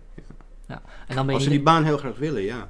Ja, precies. Want dan ben je ook niet meer aan het afwijzen op het feit dat er mensen zijn die vooroordelen hebben. maar je hebt Nee, bepaalde uiteraard. kleding uiteraard ja. dat, dat, dat als die dame een langere rok zou. En, en, en, en maar ja, wat je, wat je zelf zegt, het is voor mensen best be- be- belangrijk om, om bepaalde vrome kleding eh, te Mhm. dragen. Mhm. En, eh, en ik denk ook dat in alle beroepen dat in principe is, behalve inderdaad de wetshandhaving. Ja. Ja, natuurlijk, kijk, als je een religieuze overtuiging hebt eh, en je wilt, je, je vindt dat je op een bepaalde moet, manier moet leven, daar, daar breng je Mhm. natuurlijk overigens mensen mee. En het feit dat je Ja. dingen daarvoor opoffert voor je religiositeit is natuurlijk eh, een onderdeel van je religiositeit. Ja. Ik vind, een, eh, ik vind het een heel lastige kwestie. Zeker omdat, omdat de uitwerking ervan ertoe leidt dat bepaalde mensen van bepaalde zaken eigenlijk uitgesloten worden op basis van hun eigen keuzes voor levensovertuiging. Ja. Ehm, en dat lijkt iets te zijn wat, wat nou eenmaal zo is misschien. En misschien is het beter om dat te accepteren dan om alles probeer, te proberen te, te fixen. Ja, maar weet je wat het is? Kijk, we hebben in Nederland, eh, dus, dus even los van binnenfuncties. Hè? Bedoel, Mhm. er is in Nederland een ruimere, een ruimere keus qua hoe je jezelf kleedt dan, dan eigenlijk, ik zou geen land weten waar daar meer marge is, zeg Mhm. maar. Hè? Ehm, in Nederland mag je dus echt eh, tot alles bedekken tot behalve dit. Als je gezicht moet zitten, dat is zeer ruim. Je mag op, in, het, in de publieke ruimte mag je eh, in een string met, eh, als je geslachtsdelen maar bedekt, zeg maar. Dat is ruimer, is het bijna in geen enkele samenleving eh, de keus. Dus als zeg maar, het wordt verweten, ja, mensen worden verplicht in Nederland om, nou ja, ga dan elke tijd, elke plek en tijd in de wereldgeschiedenis af. Je zult zien dat West-Europa op dit moment nummer één is. Hè, daar is de grootste marge aan keuzevrijheid van hoe je, hoe je eh, bedoel. d- dus, dus ik, ik denk, kijk, en bijvoorbeeld en vol- om volledig bedekt te gaan of om naakt te gaan, dan zijn weer bepaalde ruimtes. Er zijn bepaalde plekken. Als je bijvoorbeeld in een gebedshuis je helemaal wil bedekken, prima. En als je op een naaktstrand naakt wil, is dat prima. Daar zijn ook weer. Alleen dat je, je moet marges hebben, of je moet, eh, de, de rechtsstaat zou geen rechtsstaat zijn als er niet beperkingen zijn. En die beperkingen zijn er om, om, om het te laten functioneren en om iedereen. Die beperkingen zijn om iedereen zo, zoveel mogelijk ruimte te geven. Ja. Daar gaat het juist om. Ja, ja. Je kan niet alles. ehm, ik heb ooit een keer een, een, een discussie gehad met, eh, met Mark Rutte toen. Dat was in Amerika. Met Hans Steven. En die, die zei toen van. Hè, jullie vinden die vrijheid van meningsuiting nou zo belangrijk. Maar het is toch niet het allerbelangrijkste. Wie Van zei dit? Mark Rutte. Mhm. was bij de verkiezingen toen van. eh, eh, van Obama. Dat Mhm. was toen. En jullie waren daar.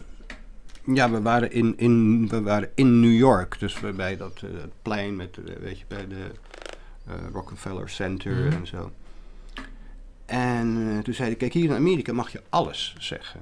Misschien moet dat maar, dat je gewoon alles mag zeggen. Hier is een totale vrijheid van meningsuiting. Mhm.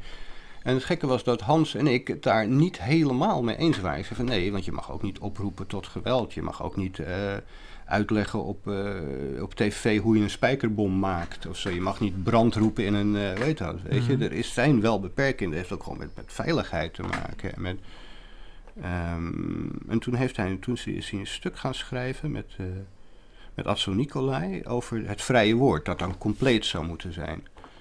En uh, daar werd nogal op gereageerd, met name door het CDA toen. Dat ze zeiden, ja, dus die, die, die, die vonden dat een moeilijk stuk. Want er werd natuurlijk gepleit voor uh, vrijheid, dat, dat, dat religieuze meningen en niet-religieuze meningen gelijk moesten worden behandeld. En, en dat afschaffing van de wet op de godslastering. dus Buma, die was het idee toen justitiële zaken voor het CDA, die ging meteen tegen Rutte in de aanval. Uh, zei van ja, dus jij wil dus ook dat Mein Kampf uh, kan worden uh, verkocht in Nederland. Dat stond helemaal niet in dat stuk. Hmm. Tovik Dibi had het trouwens al voorspeld. Want die zei al tegen me, Buma is wat van plan. Let Wie? op, Dibi. Hmm. Die zei, Buma gaat, die, die was ook aanwezig bij de presentatie van een stuk. Tovik was daar in Buma. En die zei, volgens mij is Buma wat aan het verzinnen. en dat was inderdaad zo. Want de, komende, de, de dag daarna, toen werd toen werd uh, Mark heel erg aangevallen door, door Verhagen, meen ik toen. En, en dat ging daarover. En, en dat, eh, van, over mijn kamp. En overal in het journaal van Mark Rutte wil mijn kamp. Dat stond helemaal niet in dat stuk. Weet je, dus dat was heel erg ingewikkeld. Maar wel erg slim van het CDA om af te leiden, dat van het stuk af te leiden en mijn kamp erin te gooien. Als een soort stroopop. Dat er helemaal niet stond. Ja. Het is ook niet een uh, onbekende strategie om uh, iemands argument volledig ja, ja, ja, ja, ja, ja, dus ja, ja, je probeert altijd in debatten, probeer zoveel mogelijk dat te vermijden. Maar als het hard tegen hard gaat, zijn er mensen die echt bereid zijn om, uh, om uh, ja, een gele kaart te incasseren door een, door een tegenstander echt op de, op de hielen te trappen. Ja, ja, ja. facts don't, don't always matter. En, en, mm -hmm. Goed, hoe kwamen we hierop? Je had over Mark Rutte. Over uh, of je religie en, en uh, religieuze en, en profane ideeën, of je die wel of niet in alle gevallen hetzelfde moet behandelen. Ja. Waarbij ik vind van wel, je moet niet religieuze ideeën, uh, re je moet niet religieuzen meer of minder rechten geven dan Mhm. anderen. Mhm. Wat is jullie plan met Vrij Links? Wat, where from here? Uh, I wish we had a plan. nee, kijk, het is ons natuurlijk ook wel een beetje overkomen, weet je. Ik bedoel, het was gewoon een stuk in, in, in de Volkskrant. En, en nou ja, op een gegeven moment worden, word, krijg je dan, word je dan benaderd door mensen die zich daarin kunnen vinden. En, en um, dus dan moet je een organisatiestructuur opeens uh, mm. hè, gaan, uh, die een beetje buiten, die wel buiten de, de manifestschrijvers om is. Want mm. ja, alleen Femke is, is uh, voorzitter. En eigenlijk Aziës en, en Keklik en ik zijn sympathisanten, zeg maar. Mm. Dus het hele bestuur en de back-office en, en, en en uh, redactie, dat, daar zitten wij niet in. Hoe zijn, die, hoe zijn zij erbij gekomen? Zijn dat ook mensen geweest die Ja, gezegd, mensen, oh, die, ja mensen die, zich, die zich aandienden. Ja. Jullie ook een website waar je die artikelen op Ja, ja, vrijlinks.nl. Ja. Ja, dat, we hebben natuurlijk ook heel veel auteurs die, die, die, die schrijven. Maar op een gegeven moment uh, werden, nou, we werden gewoon heel veel benaderd. En we zijn dus nu zelfs verplicht om uh, juridisch zo te regelen dat we aan contactmanagement kunnen doen. Zodat we, dat, dat kan ook, mag ook niet zomaar. Dus dat je mensen... Uh, Vanwege de AVG en... Uh, ja, weet ik. ik dat er zijn dus de stichting daarmee bezig. Ah, ik, hoor, ik hoor ook alleen maar dingen van... Wat, weet je, ik, ik heb daar verder niks mee te maken. Maar ik zei op een gegeven moment dat zich twee, tijdens een interview dat zich 200 mensen hadden aangemeld. En toen kreeg ik van de Vrij Linksers door... Eddie, het zijn er nu al 1200. En dat is alweer een paar weken geleden. Dus, um, dus heel veel mensen hebben gereageerd en gemaild. En waar kunnen we uh, lid worden of zo niet, maar ja, lid worden. Of hoe, hoe kunnen we op de hoogte gehouden worden? Hoe kunnen we hier deel van zijn? De mensen vragen dan of er uh, ontmoetingen zijn. Nou, binnenkort is er weer een borrel. Veel meer, we hebben natuurlijk geen geld. Hè? Mm. En... Um, en, uh, maar gelukkig wordt Vrij Links heel veel uitgenodigd door debatten van de VVD, de jonge socialisten, de, de, de, de, de D66. Uh, hebben allemaal clubs die ons dan uitnodigen. Of op basis van? Op basis van wat, wat ze in de pers hebben gelezen, met name toen het zeg maar, in de mainstream media kwam. Um, Hoe was de ontvangst daarvan? Um, nou, toen het eenmaal in de mainstream media... Kijk, aanvankelijk was natuurlijk toen het manifest kwam... Toen waren zeg maar degenen die zich als ideologische tegenstanders binnen links uh, zagen. Hè, dus die meer van, de, meer van de groepen, de identity mm. zijn. Terwijl wij toch meer individu en uh, solidariteit tussen individuen zijn. Die, die waren natuurlijk zoiets van, hier moeten we tegen ageren. Want als dat verhaal als waar wordt gezien, wordt ons verhaal als minder waar gezien. Dus mm. met alle middelen, dus met alle stroopoppen en verdraaiingen erbij. Sommige waren fair, andere waren ja, rond het leugenachtig. Ehm, en een, een, week later werd dus vanuit de mainstream media ook weer daar op die reacties gereageerd. Hè. Sommige stukken het NRC en de Volkskrant die halen zeg maar, al hun argumenten bij naam en toenaam onderuit. En er wordt beweerd over vrij links dit, in werkelijkheid dat. Die en die zegt dat, in werkelijkheid dat. Dus je zag toch steeds meer dat bij, zeg maar, eh, de linkse media toch meer meekregen. En, uh, en dat, er, dat er mensen uh, zich aanmelden. En, en als je dan het profiel van die mensen neemt, die dus langzaam steeds iets meer naar de dat er ook zich meer uh, autochtone mensen zich melden. Um, dan zag je dat zo'n 80% is wel, heeft een, een, een partijalliantie, vaak actieve leden, en 20% dan niet. En van die 80% was toch bijna de helft D66 en een heel groot deel GroenLinks. Mhm. En uh, relatief minder Partij van de Arbeid. En waarom dat is, weet ik niet. Nog minder uh, SP. En we hebben wel contact met SP gehad. En die zeiden sowieso, SP'ers uh, organiseren zich sowieso vrij weinig buiten de eigen geledingen. En daarnaast, alles wat daar staat, het is, staat bij SP in, in wat voor vorm dan ook wel in de, gewoon in het verkiezingsprogramma en in het beginselen. Dus wij begrijpen niet waarom we bij ons bij iets zouden aansluiten wat wij toch al vinden. Bij Partij van de Dieren hebben we geen contact gehad, maar dan kan ik me hetzelfde voorstellen. Die zijn natuurlijk ook, hoewel de leiding privé-religieus is, natuurlijk een uiterst seculiere partij. Mm. Dus bij de uiterst linkse partijen, daar, uh, ja, daar hadden we gewoon minder. Uh, en misschien ook omdat het daar al in de, gewoon in de beginselen staat en in de verkiezingsprogramma's staat. Ja.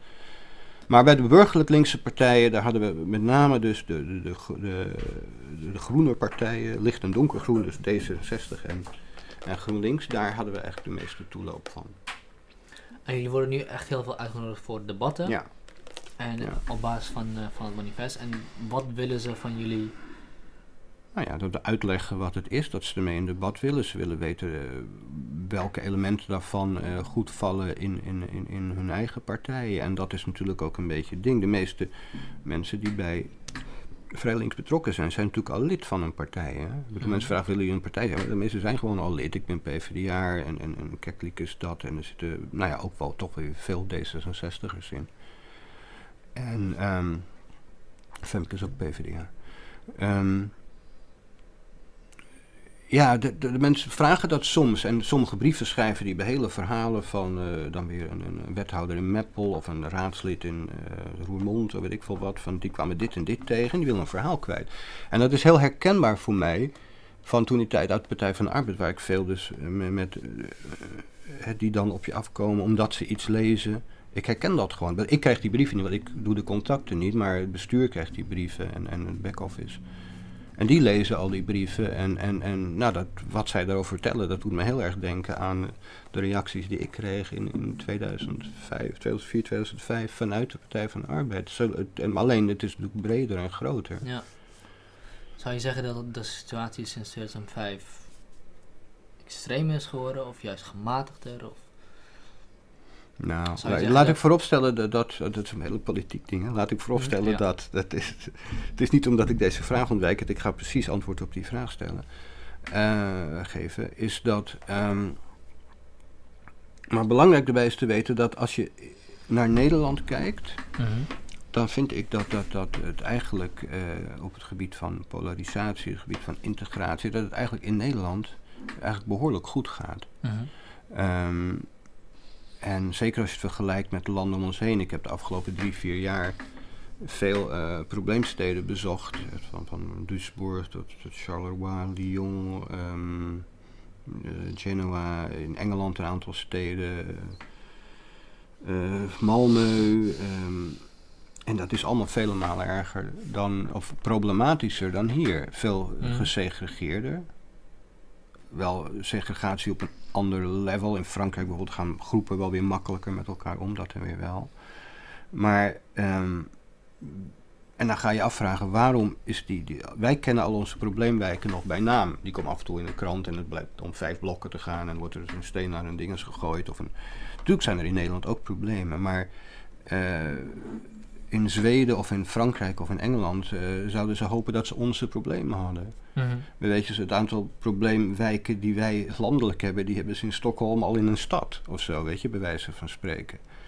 En, en ik denk dat, ik heb het ook wel met Abu Talib over gehad, even names droppen, maar die vroeg zich ook af, die zat ook een keer met een groep mensen, zo, hoe kan het dat Als je het nog in een paar Nederland... shout-outs wil doen, dan kan dat. Hè? Als je nog een paar shout-outs wil doen, dan kan Ja, dat. nou ja, ik, Abu, Abu Talib, ik bedoel, er zijn sommige dingen waar ik niet mee eens ben, andere dingen weer wel. En, en ik, ik, ik, ik mag hem graag. En, ehm, we kunnen het goed vinden, laten we het zo zeggen.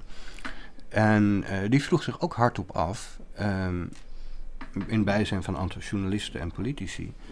Eh, hè, we, we, we kwamen in een huddle om te kijken met een aantal burgers, ook van verschillende komaf, van hoe, hoe, eh, hoe komt het dat het als we constateren dat het hier toch beter gaat in onze buurlanden, hoe Mhm. komt dat dan?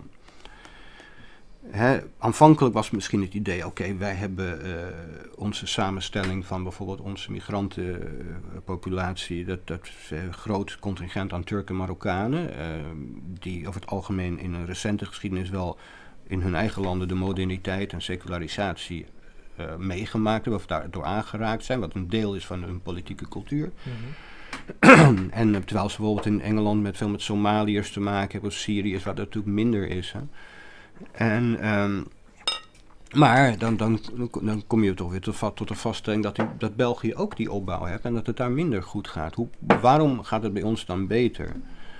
En ik denk ook dat, wij hebben denk ik een aardige mix, dat was een van de conclusies, ik denk wel een belangrijke, tussen, eh, laten we zeggen, als je het vogelarisme en bolkestanisme noemt. Wij, wij kijken wel naar die wijken.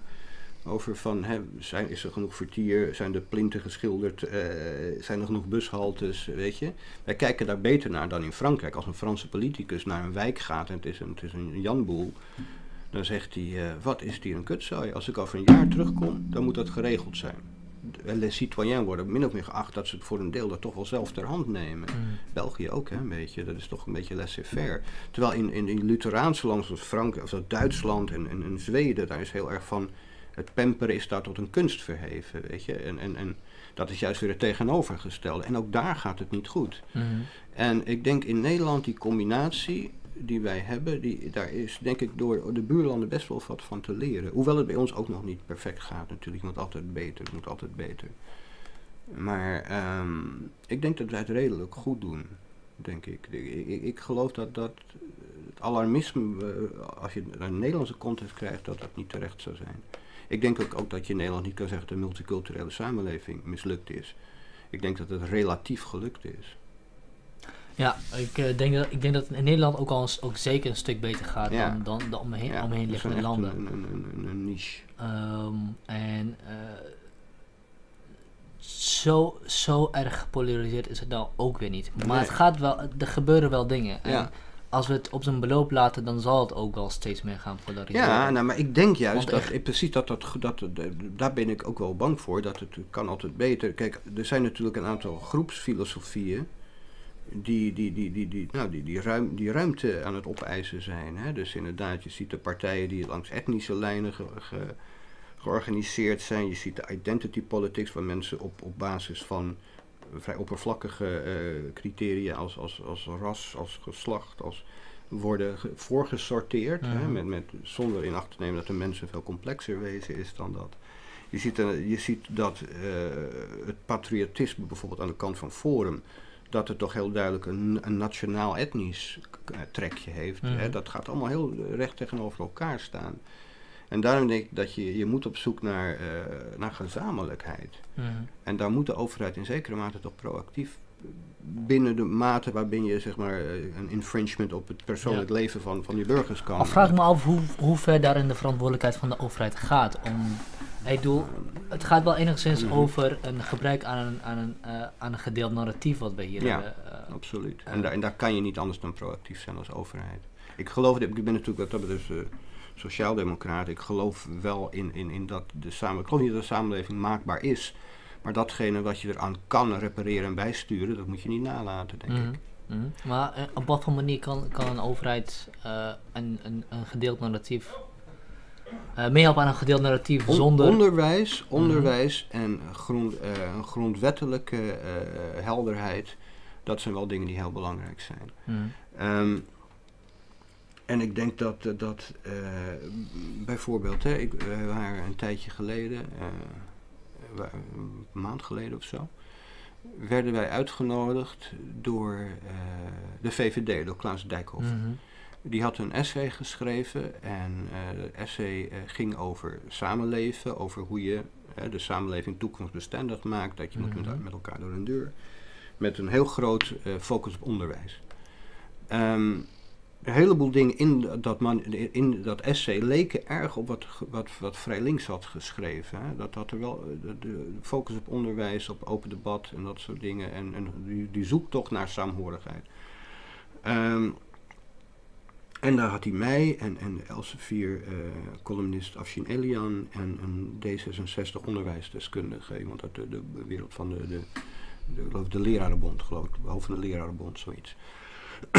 en dan hadden de vraag die eigenlijk dat essay stelde, dat was, um, mag je een liberaal resultaat nastreven met onliberale middelen? Hè, of moet je liberale middelen blijven hanteren met het risico dat er een onliberaal resultaat ontstaat? Wat bedoelde hij daar nou mee? Um, hij bedoelde ermee bijvoorbeeld op onderwijs, en, en die focus lag heel erg op onderwijs. Uh, mag je bijvoorbeeld uh, uh, alleen openbaar onderwijs als leidend gaan nemen. Ja. Hè? Dus, dus een beetje verdergaande dus dan, dan, dan waar ik het net over had, maar echt het afschaffen van het religieus onderwijs. Uh, zodat mensen samen met elkaar naar school gaan, uh, dichter op een gedeeld waardepatroon komen te zitten, meer pluriformiteit in hun lespakket krijgen en meer keuzevrijheid in hun levensovertuiging als resultaat. Dat is een illiberaal middel. Hij zei van dat is een nogal socialistisch middel. Hij zei van dat is voor jullie, uh, voor mij in dit geval, uh, met dat manifest makkelijker als sociaaldemocraat om zo'n socialistisch middel in te zetten, namelijk een sterke staat, maakbaarheid, uh, waarin de overheid het curriculum bepaalt.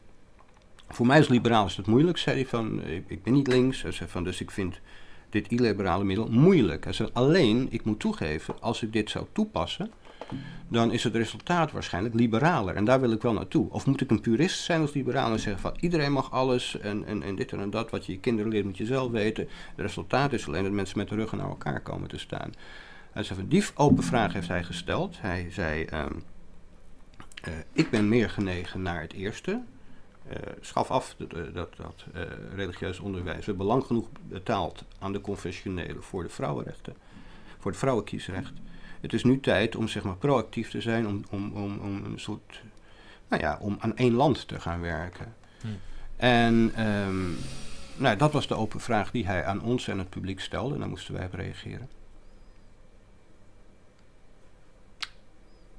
Het is, En het is inderdaad voor een liberaal best natuurlijk moeilijk, want daar waar openbaar onderwijs als leidend eh, voor de, de, de, extreem linkse kant van het spectrum uh, voorstelbaarder zijn en haalbaarder zou zijn als de hele Kamer uit SP en Partij van de Dieren zou bestaan, dan zou zo'n wet erdoor komen. Maar nu ter eerste, eerste kant ter rechterzijde, want natuurlijk zijn VVD, of nee, zijn PVV en Forum natuurlijk ook niet uh, seculier. Die maken een onderscheid tussen islamitische scholen en andere scholen. Mhm.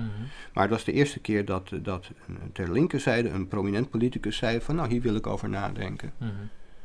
Dus uh, dat is een interessante ontwikkeling. Ik denk dat dat gewoon niet haalbaar is op, korte termijn. Omdat inderdaad, waarschijnlijk zul je alleen die extreem linkse partijen meekrijgen daarin. Ik denk zelfs dat je GroenLinkse Partij van de Arbeid daar niet in meekrijgt. Maar goed, het is wel een springplank voor een discussie. En daar gaat het om. De discussie is hoe pluriform kan je een, een, een, een samenleving laten uh, functioneren. En, en, en, en hoeveel gezamenlijkheid is daarvoor nodig. En hoe bewerkstellig je dat? Het is een variatie op de eerste vraag die we hadden. Wat is de rekbaarheid van een verzorgingsstaat? Maar je kan ook de vraag stellen, ja. wat is de rek rekbaarheid van individualiteit? Want ja. het lijkt ook wel enigszins haak te staan op, op het verhaal wat je eerder zei. Het verheffen van de individu en het Ja. sterker maken van de individu. Uh, maar hoe zorg je ervoor dat die individu geen eiland wordt? Of een eiland wordt Ja. uh, van een Ja, bepaalde groep mensen die op zichzelf weer een eiland zijn.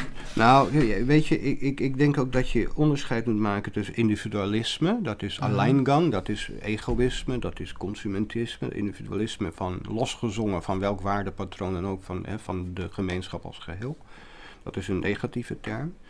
Eh, Ik ben ik vind individuele vrijheid belangrijk. Mm. Dat betekent dus dat je vrijheid van levenspad hebt. Maar dat vindt bij als progressief mens moet dat samengaan met, eh, of liberaal ook hoor, eh, met, eh, met- solidariteit, met, met de rest van de gemeente. Dat je bereid bent om, een- om een progressief belastingstelsel te accepteren. Dat je bereid bent om, om de ander te helpen. Weet je, dat je de burgerschap, dat is belangrijk. Maar goed, aan de andere kant zijn er ook veel, heel veel dingen die ouders al voor hun kind bepalen. Mhm. Uh, Ja. uh, dus wa- en ouders hebben in principe voogdij op hun kind. Ja. Ze, ze hebben in principe Ja. het recht om ze op te voeden hoe ze Ja. willen.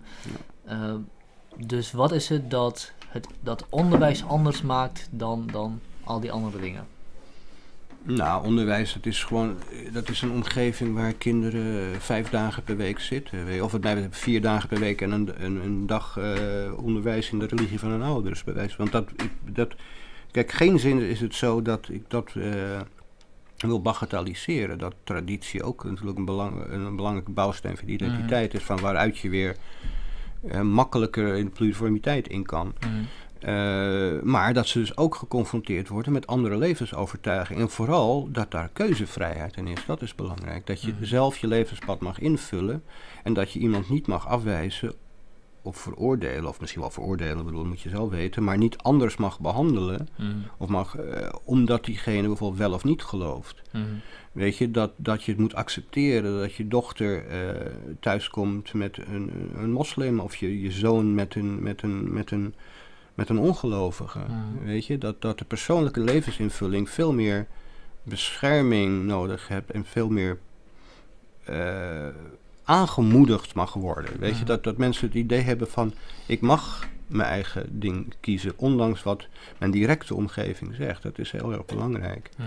En natuurlijk zal in de meeste gevallen niet iedereen heeft de behoefte om, om zich heel erg buiten een, een, een gemeenschap te, te bevinden. Niet iedereen heeft de behoefte om heel veel aan, aan uh, zelfonderzoek of zelfontplooiing. De meeste mensen zullen toch het collectief of, of, of dat kiezen voor datgene dat ze kennen. Dus het is niet zo dat zo'n hele gemeenschap opeens uit elkaar zou vallen. Maar je moet de mogelijkheid hebben voor alle burgers dat je, um, dat je die persoonlijke levensopvatting zonder bedreiging en, en, en, zonder beknelling kan doen. En, en, en daar doet de overheid echt uh, onvoldoende voor, denk ik. Ja überhaupt los van deze hele discussie denk ik dat uh, je geen burger, geen, geen echte goede, weloverwogen, verantwoordelijke burger kan zijn zonder te weten wat alle denkwijzen zijn ja, die zich spelen in jouw, in jouw land. En het, ik kan me Alhoewel, voorstellen dat sommige mensen die dus vanuit een heel traditioneel wereldbeeld denken, dat die het eng vinden dat, dat hun zoon of dochter wordt blootgesteld aan ideeën die niet noodzakelijkerwijs uh, de, de, die van hun zijn. Mhm. Weet je, dat ze, dat ze denken dat ze dan gefaald hebben als ouders. Maar dat is een heel belangrijke stap die mensen toch zullen moeten nemen. Je zal toch op een gegeven moment Ja, de vrijheid. Voor hun is het niet dat. Voor, voor een superconservatief ouder is het niet dat die kind uh, blootgesteld wordt aan iets wat niet van hun is. Ze worden blootgesteld aan iets wat fout is. Ja, ja. Uh, voor hun is het in Ja. principe hetzelfde als ik mijn kind het creationisme zou laten leren. ja. Ik vind dat verschrikkelijk fout. Ja. Waarom zou ik überhaupt mijn kind daaraan blootstellen? Dat is ja, maar ja, ja, ja, ja. Nou, dat, maar dat is het. Maar in een open samenleving zijn er. eh, heeft het individu heeft toch een, een bijzondere status, wat mij Mhm. betreft. Die moet inderdaad de kans krijgen, onafhankelijk waar zijn wichtje staat, hoe kansrijk eh, de, de, de, hè, Mhm. z- zijn. Hij is van, eh, vanuit zijn basissituatie. Om die mogelijkheid te hebben om zich te ontplooien alle kanten op. Ja. En dan denk ik dat het individu een, een dermate belangrijke entiteit is. dat die voor de groep gaat. Zeker naar de overheid toe. En los van religies en, en denkwijzen zijn er ook andere dingen geweest die mij heel erg persoonlijk hadden geholpen als ik die had gehad tijdens mijn, Mhm. tijdens mijn opleiding. Eh, hoe, zien, hoe werken organisaties? Hoe doe je je belasting? Ja, al, die, burgerschapsdingen. al die burgerschapsdingen. Ja, dat is, eh, weet je, bijvoorbeeld... veel meer aan geha- gehad dan aardrijkskunde. Ja, maar het, is- het is ook niet altijd religie, hè? Cultuur Nee, en religie.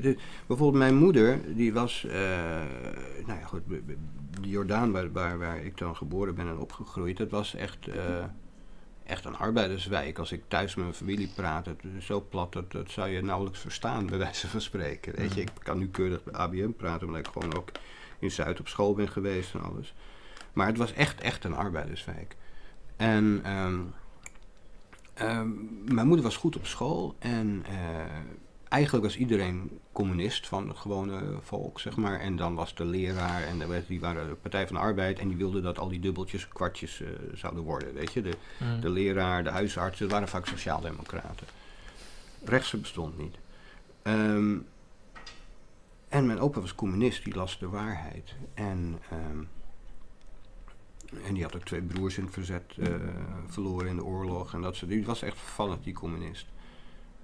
En ehm, die, eh, toen kwam de, de, de, de meester, zoals de leraar kwam bij ons thuis. Dus even Miepie, mijn moeder heet Miep. Die moet naar een hogere school, want die is te slim voor de huishoudschool. Mm. En toen zei mijn opa echt, nou letterlijk, komt niks van in. Ze moet niet denken dat ze meer is dan een ander. De huishoudschool, dan leert ze tenminste het huishouden. En dat is goed, als ze gaat trouwen, dan kan ze weten hoe ze een ei moet bakken, weet je. Dus daar was ook een cultureel, dat had niets met religie te maken, maar wel met traditie, met Mm. traditionaliteit, Ja. met, met, met, met onderklasse, arbeidersklasse. En dat had alleen, bij mijn opa had dat die vorm. Weet je, later, zeg maar twaalf jaar later, toen eh, kwam mijn, mijn, eh, toen eh, was de broer van mijn moeder was een nakomertje. En die was in een periode, die was sowieso ook wel man, dat scheelde ook wel, dan denk ik wel. Maar dat die ging wel, die ging wel studeren, omdat het inmiddels was dat niet meer een, dat was niet meer ondenkbaar in onze buurt, dat je Mhm. ging studeren. Weet je, en, en, en dus daar is ook een emancipatiestap eh, gemaakt. En het zou mooi zijn als dat, die emancipatiestap, dat, weet je, dat iemand die in Slotervaart wordt geboren, of, of Leidse Rijn, of weet ik wel wat, dat ze niet per definitie, ehm, weet je, dat ze ook CEO kunnen worden. Ik bedoel, kijk, voor een Jordanees was het ook de kans dat een Jordanees CEO werd, dat was nul. Eh, nu waarschijnlijk nog, maar het zijn toch wel mensen uit bepaalde klassen die dat dan echt worden. Maar, ehm, maar dat, dat bedoel ik dus met verheffing. En verheffing is niet alleen maar sociaal-economisch. Natuurlijk is het ook sociaal-economisch. Je moet kunnen zorgen dat mensen kunnen betalen om te Mhm. studeren. Maar ook dat het, dat het, het, het culturele omveld zo is dat het geaccepteerd wordt dat mensen hun vleugels uitslaan. En dat is voor, dat is voor mensen die, die in een keurig gezin, in, in, eh, dat een, een, een rijk gezin, wat dat GroenLinks of D66 stemt in een volkomen witte wijk is dat vanzelfsprekend dat hun dochters die ruimte hebben. Maar natuurlijk voor heel veel mede-Nederlanders die, die uit een traditionele gezin komen, is dat, is dat eh, helemaal niet zo vanzelfsprekend. Ja. Dat die, die, de, voor die is een, is een pakket vrijheden gereserveerd, wat die GroenLinks dame en heer met, eh, voor hun dochter nooit zou accepteren. Maar blijkbaar als je een ander kleurtje hebt, is dat eh, volkomen acceptabel. Ehm, hoe ga je bepalen welke denkwijzen wel on- onderwezen moeten worden en welke niet? Want er zijn ook genoeg mensen in Nederland die denken dat de aarde plat is. Of die eh, Ja. anti-vaccinaties. Ja, ja, ja. Maar ik denk dat daar moet je gewoon, daar moet je, daar moet je gewoon ook een beetje rationeel naar kijken. Ik denk als er, er zijn een aantal grote, eh, grote religies in Nederland. Hè, dat, dat is het christendom in een aantal variaties. Eh, Het jodendom is weliswaar natuurlijk klein, omdat de oorlog natuurlijk nogal huis gehouden heeft. Maar eh, waar wel een belangrijk deel van de heritage is, en zeker wat er in de Tweede Wereldoorlog, het hindoeïsme natuurlijk, is, is, is belangrijk en een grote godsdienst. Maar ook het humanisme en, en, en niet alleen de religieuze levensovertuiging, maar ook het socialisme, het liberalisme. Ehm, alles dat, dat, dat binnen een civil society past. De historisch grote en ook de waarschuwingen tegen het fascisme of het communisme. Maar dan, dan hebben we het in principe over de, de, de historisch grote en, en, en, en eh, eh, grote Ja, denkbeelden. ja, die zouden onderwezen moeten worden, inderdaad. Filosofie. nog iets- Filosofie. Ah, nou ja, filos- eigenlijk zou je het allemaal onder filosofie kunnen scharen. Ja, absoluut. Eh, er zit nog iets anders in Dijkhoffs verhalen, een soort van aanname dat zolang we maar als we dus plu- pluriform onderwijzen, dat dan de, de, de, eh, de keuzevrijheid groter wordt. Maar wat nou als die ene middag eh, dat kind zo goed onderwezen wordt eh, door een pastoor, die alle argumenten wat hij... Ja, dat, dat, dat, dat, dat, dat is dan zo. dat, Dat is dan ja. zo. Als iemand ja, beleidend katholiek of moslim wordt aan de hand van een verhaal dat ze horen, dat hoort bij een open samenleving. Mhm. Weet je, en, en, en wie weet als iemand 18 is, ook in een open samenleving, hoort het dan dat men alsnog kan veranderen. Dus het probleem is niet, is niet eh, dat, dat iemand een bepaalde denkwijze aanhangt, maar het probleem is dat ze niet geblootgesteld worden aan andere denkwijzen.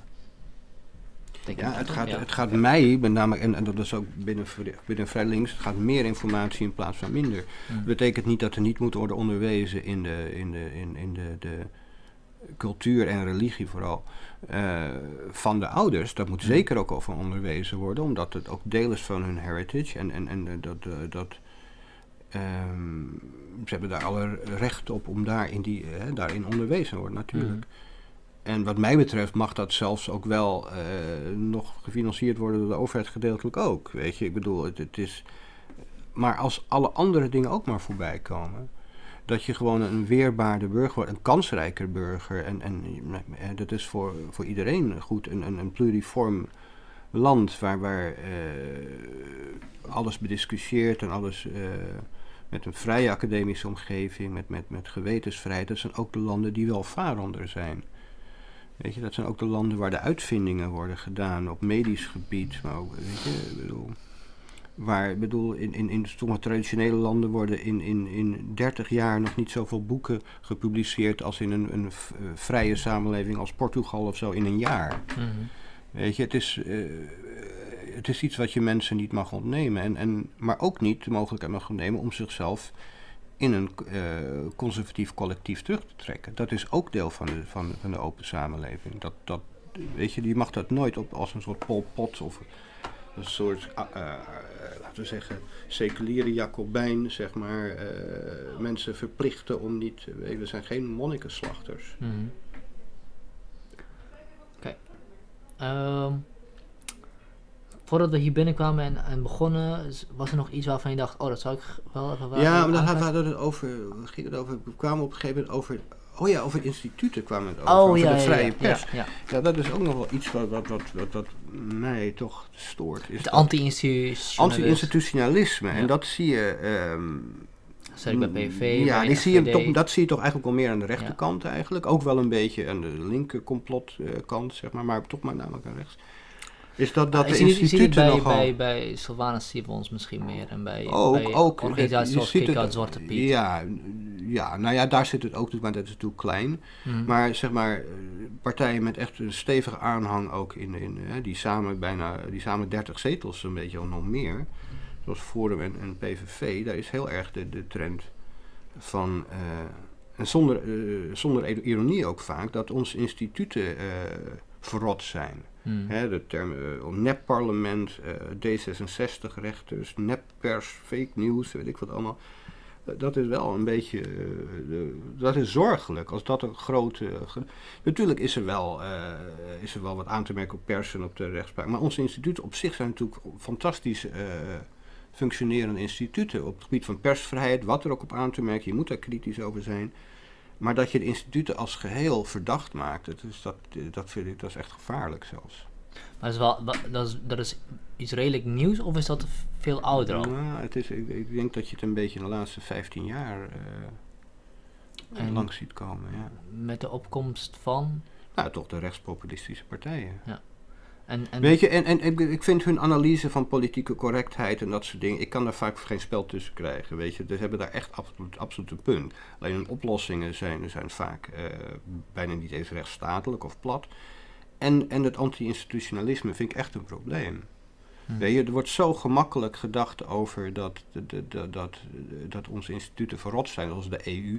Tuurlijk, de EU, deze EU dat is, uh, die is problematisch, omdat ik vind dat het veel te snel richting centralisme gaat, waardoor het hele EU-project wel eens zou kunnen knallen. Mhm. Ik vind Verhofstadt en, en, en, en, en, en Juncker en zo, ik vind het allemaal die maken de hele boel kapot. Want je Mhm. kan, weet je, ze hebben met, ze hebben met gedroomde eh, Europeanen in hun beeld dat er een Europees volk is, wat helemaal, dat is nog niet zo. Als je nu alle enti eh, nationale entiteiten dermate onder druk zet, dan, dan, dan maak je de boel stuk. Ja. ben ik absoluut wel. Maar ik vind de EU wel een heel belangrijk iets. En wat vind je dan van de, van de situatie met Hongarije? Hoe dat aangepakt wordt? Nou, het, dat, kijk, het is te ver gegaan in de zin van centralisatie. Nu krijg je dus inderdaad dat soort gedrochten zoals in, in, in Hongarije en in Polen. En er is zoveel politieke macho-cultuur, ook in Bulgarije, waar onderzoeksjournalisten worden vermoord in Slowakije. Ik denk dat, dat je, als je denkt dat dat maar één politieke entiteit is waar geen eh, politieke cultuurverschillen in zitten, kijk, dan kan je niet zo makkelijk. Ik denk dat het ook veel te snel is gegaan om sommige landen erbij te betrekken. Mhm. Natuurlijk is het belangrijk, ik ben- ook veel in die landen voor culturele uitwisseling en overal zie je een soort vrijzinnige eh, intellectuele bovenlaag of jongere studenten die niets liever willen dan, dan die vrijheid. Maar ik denk dat, dat ja, je moet daar slimmer mee omgaan. Je moet, kijk, nu kan je niet anders dan, zeg maar, eh, eh, nu kan je niet anders dan, eh, zeker op basis van de, de persbreidel, en nu wil Orbán wil ook weer de, de bepaalde takken in de, in de, op de universiteiten, zeg maar, mm de nek omdraaien. Ik heb ook mijn bedenken tegen sommige takken, maar, maar academische vrijheid staat voorop natuurlijk. Hè. Dat je daar inderdaad, dat je daar maatregelen tegen moet nemen op, het moment, op dit moment. Maar maar ook het besef dat, dat zeker Oost-Europa, waar ze heel lang centralistisch vanuit Moskou zijn geregeerd, dat, dat als je daar het nationalisme, wat een, wat een gevaarlijk giftig goedje is, dat, dat je het idee hebt dat, dat je dat zomaar overheen kan lopen. Dat, en door, die, die, door ultracentralisatie, dat is echt gevaarlijk. Want je ziet nu al de facto dat er een hele band is van Polen tot en met Italië, die zich in zekere zin al buiten, de, buiten het bereik van Brussel bevinden.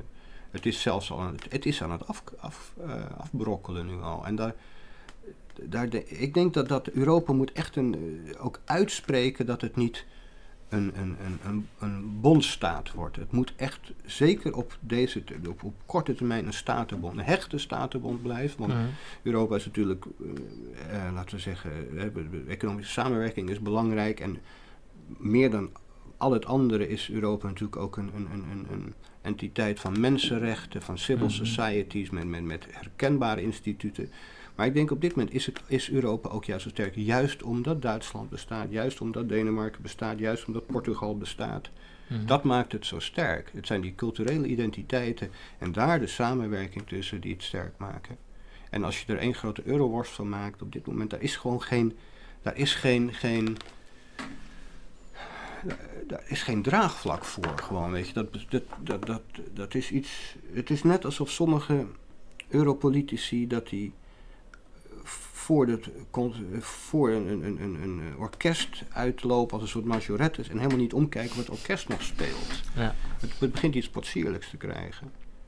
En, en, en daarom ook, ik denk, en dat is een heel belangrijk punt, en dat is eigenlijk een belangrijk punt van Trump tot en met Brexit of zo, als zeg maar degene die de bestuurslaag vormen, die de academische elite zijn, die de, de pers, eh, als, als die te weinig beseffen dat Europa bijvoorbeeld bestaat uit mensen die een, die een, een lokaal leven leiden, de mhm. somewheres, hè, dat dat mhm. een hele grote groep is.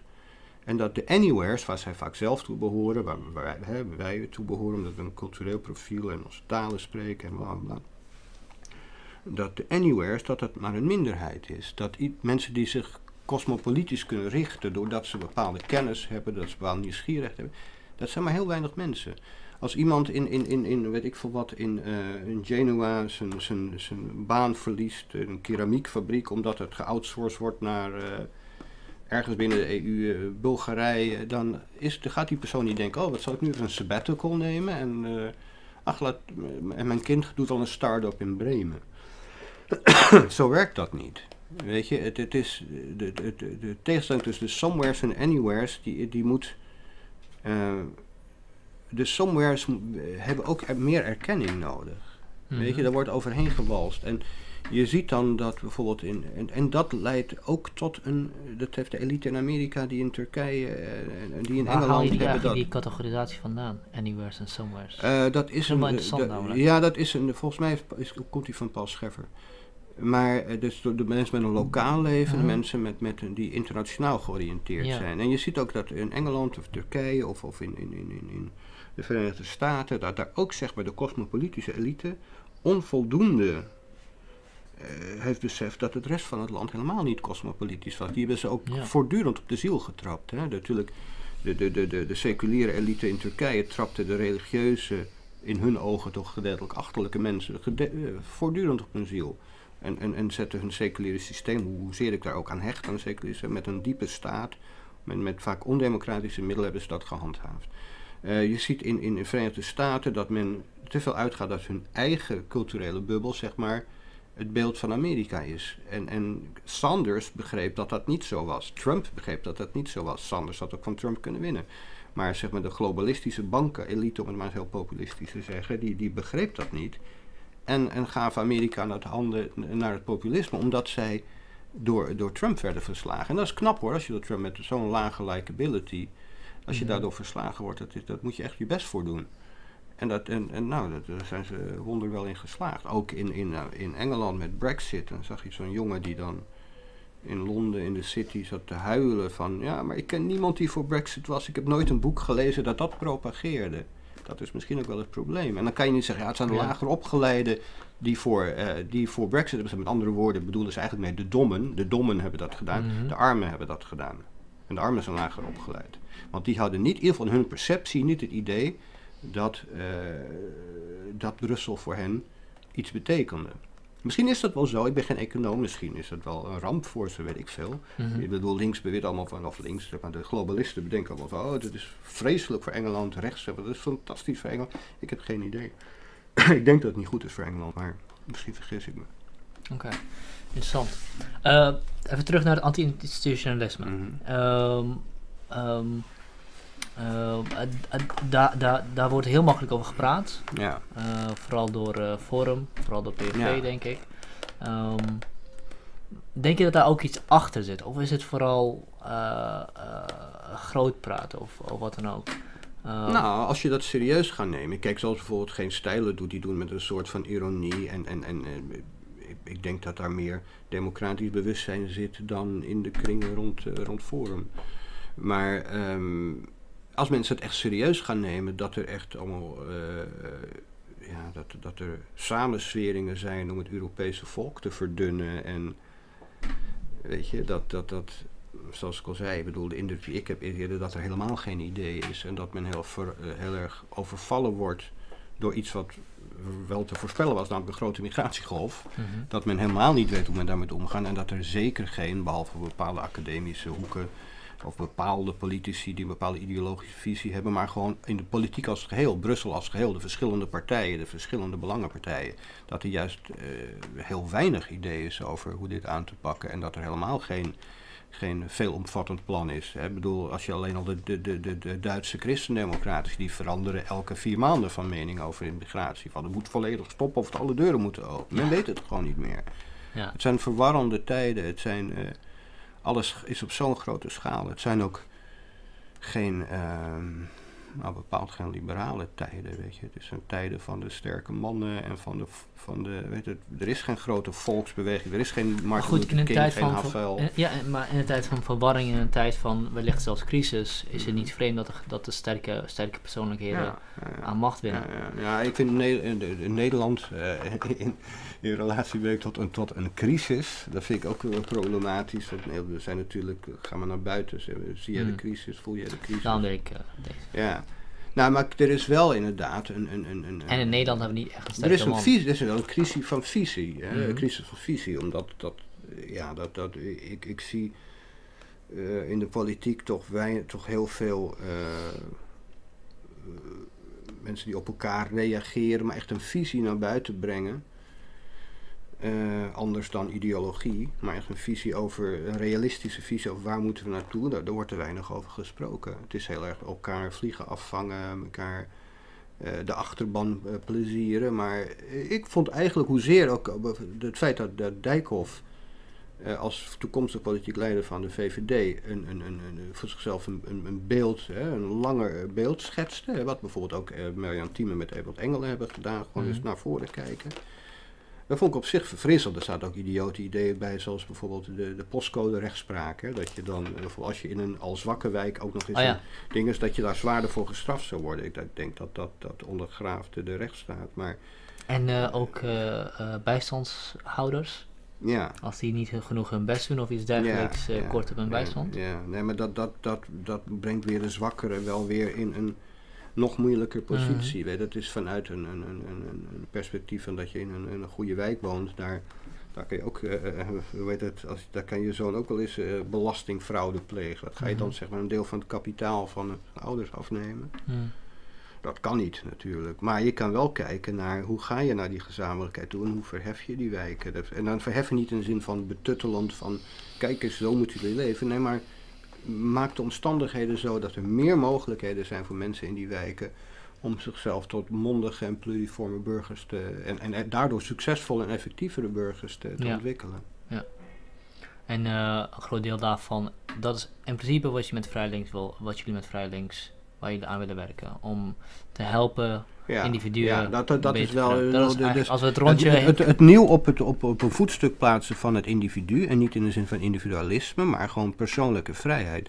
En vanuit persoonlijke, persoonlijke vrijheid is een, is een onmisbaar ingrediënt voor verheffing. Dat kan niet zonder. Je kan er zoveel geld tegenaan gooien. Op het moment dat je niet het idee hebt dat je zelf kunt uitademen, dat je je eigen levenspad kunt kiezen, dan, dan zul je toch altijd minder effectief zijn. En, en, en, en dat mag je iemand niet ontnemen. Dat is het meer. Ik denk dat het een goed punt is om af te sluiten. Ja? Okido. Dankjewel. Man. Dat is leuk.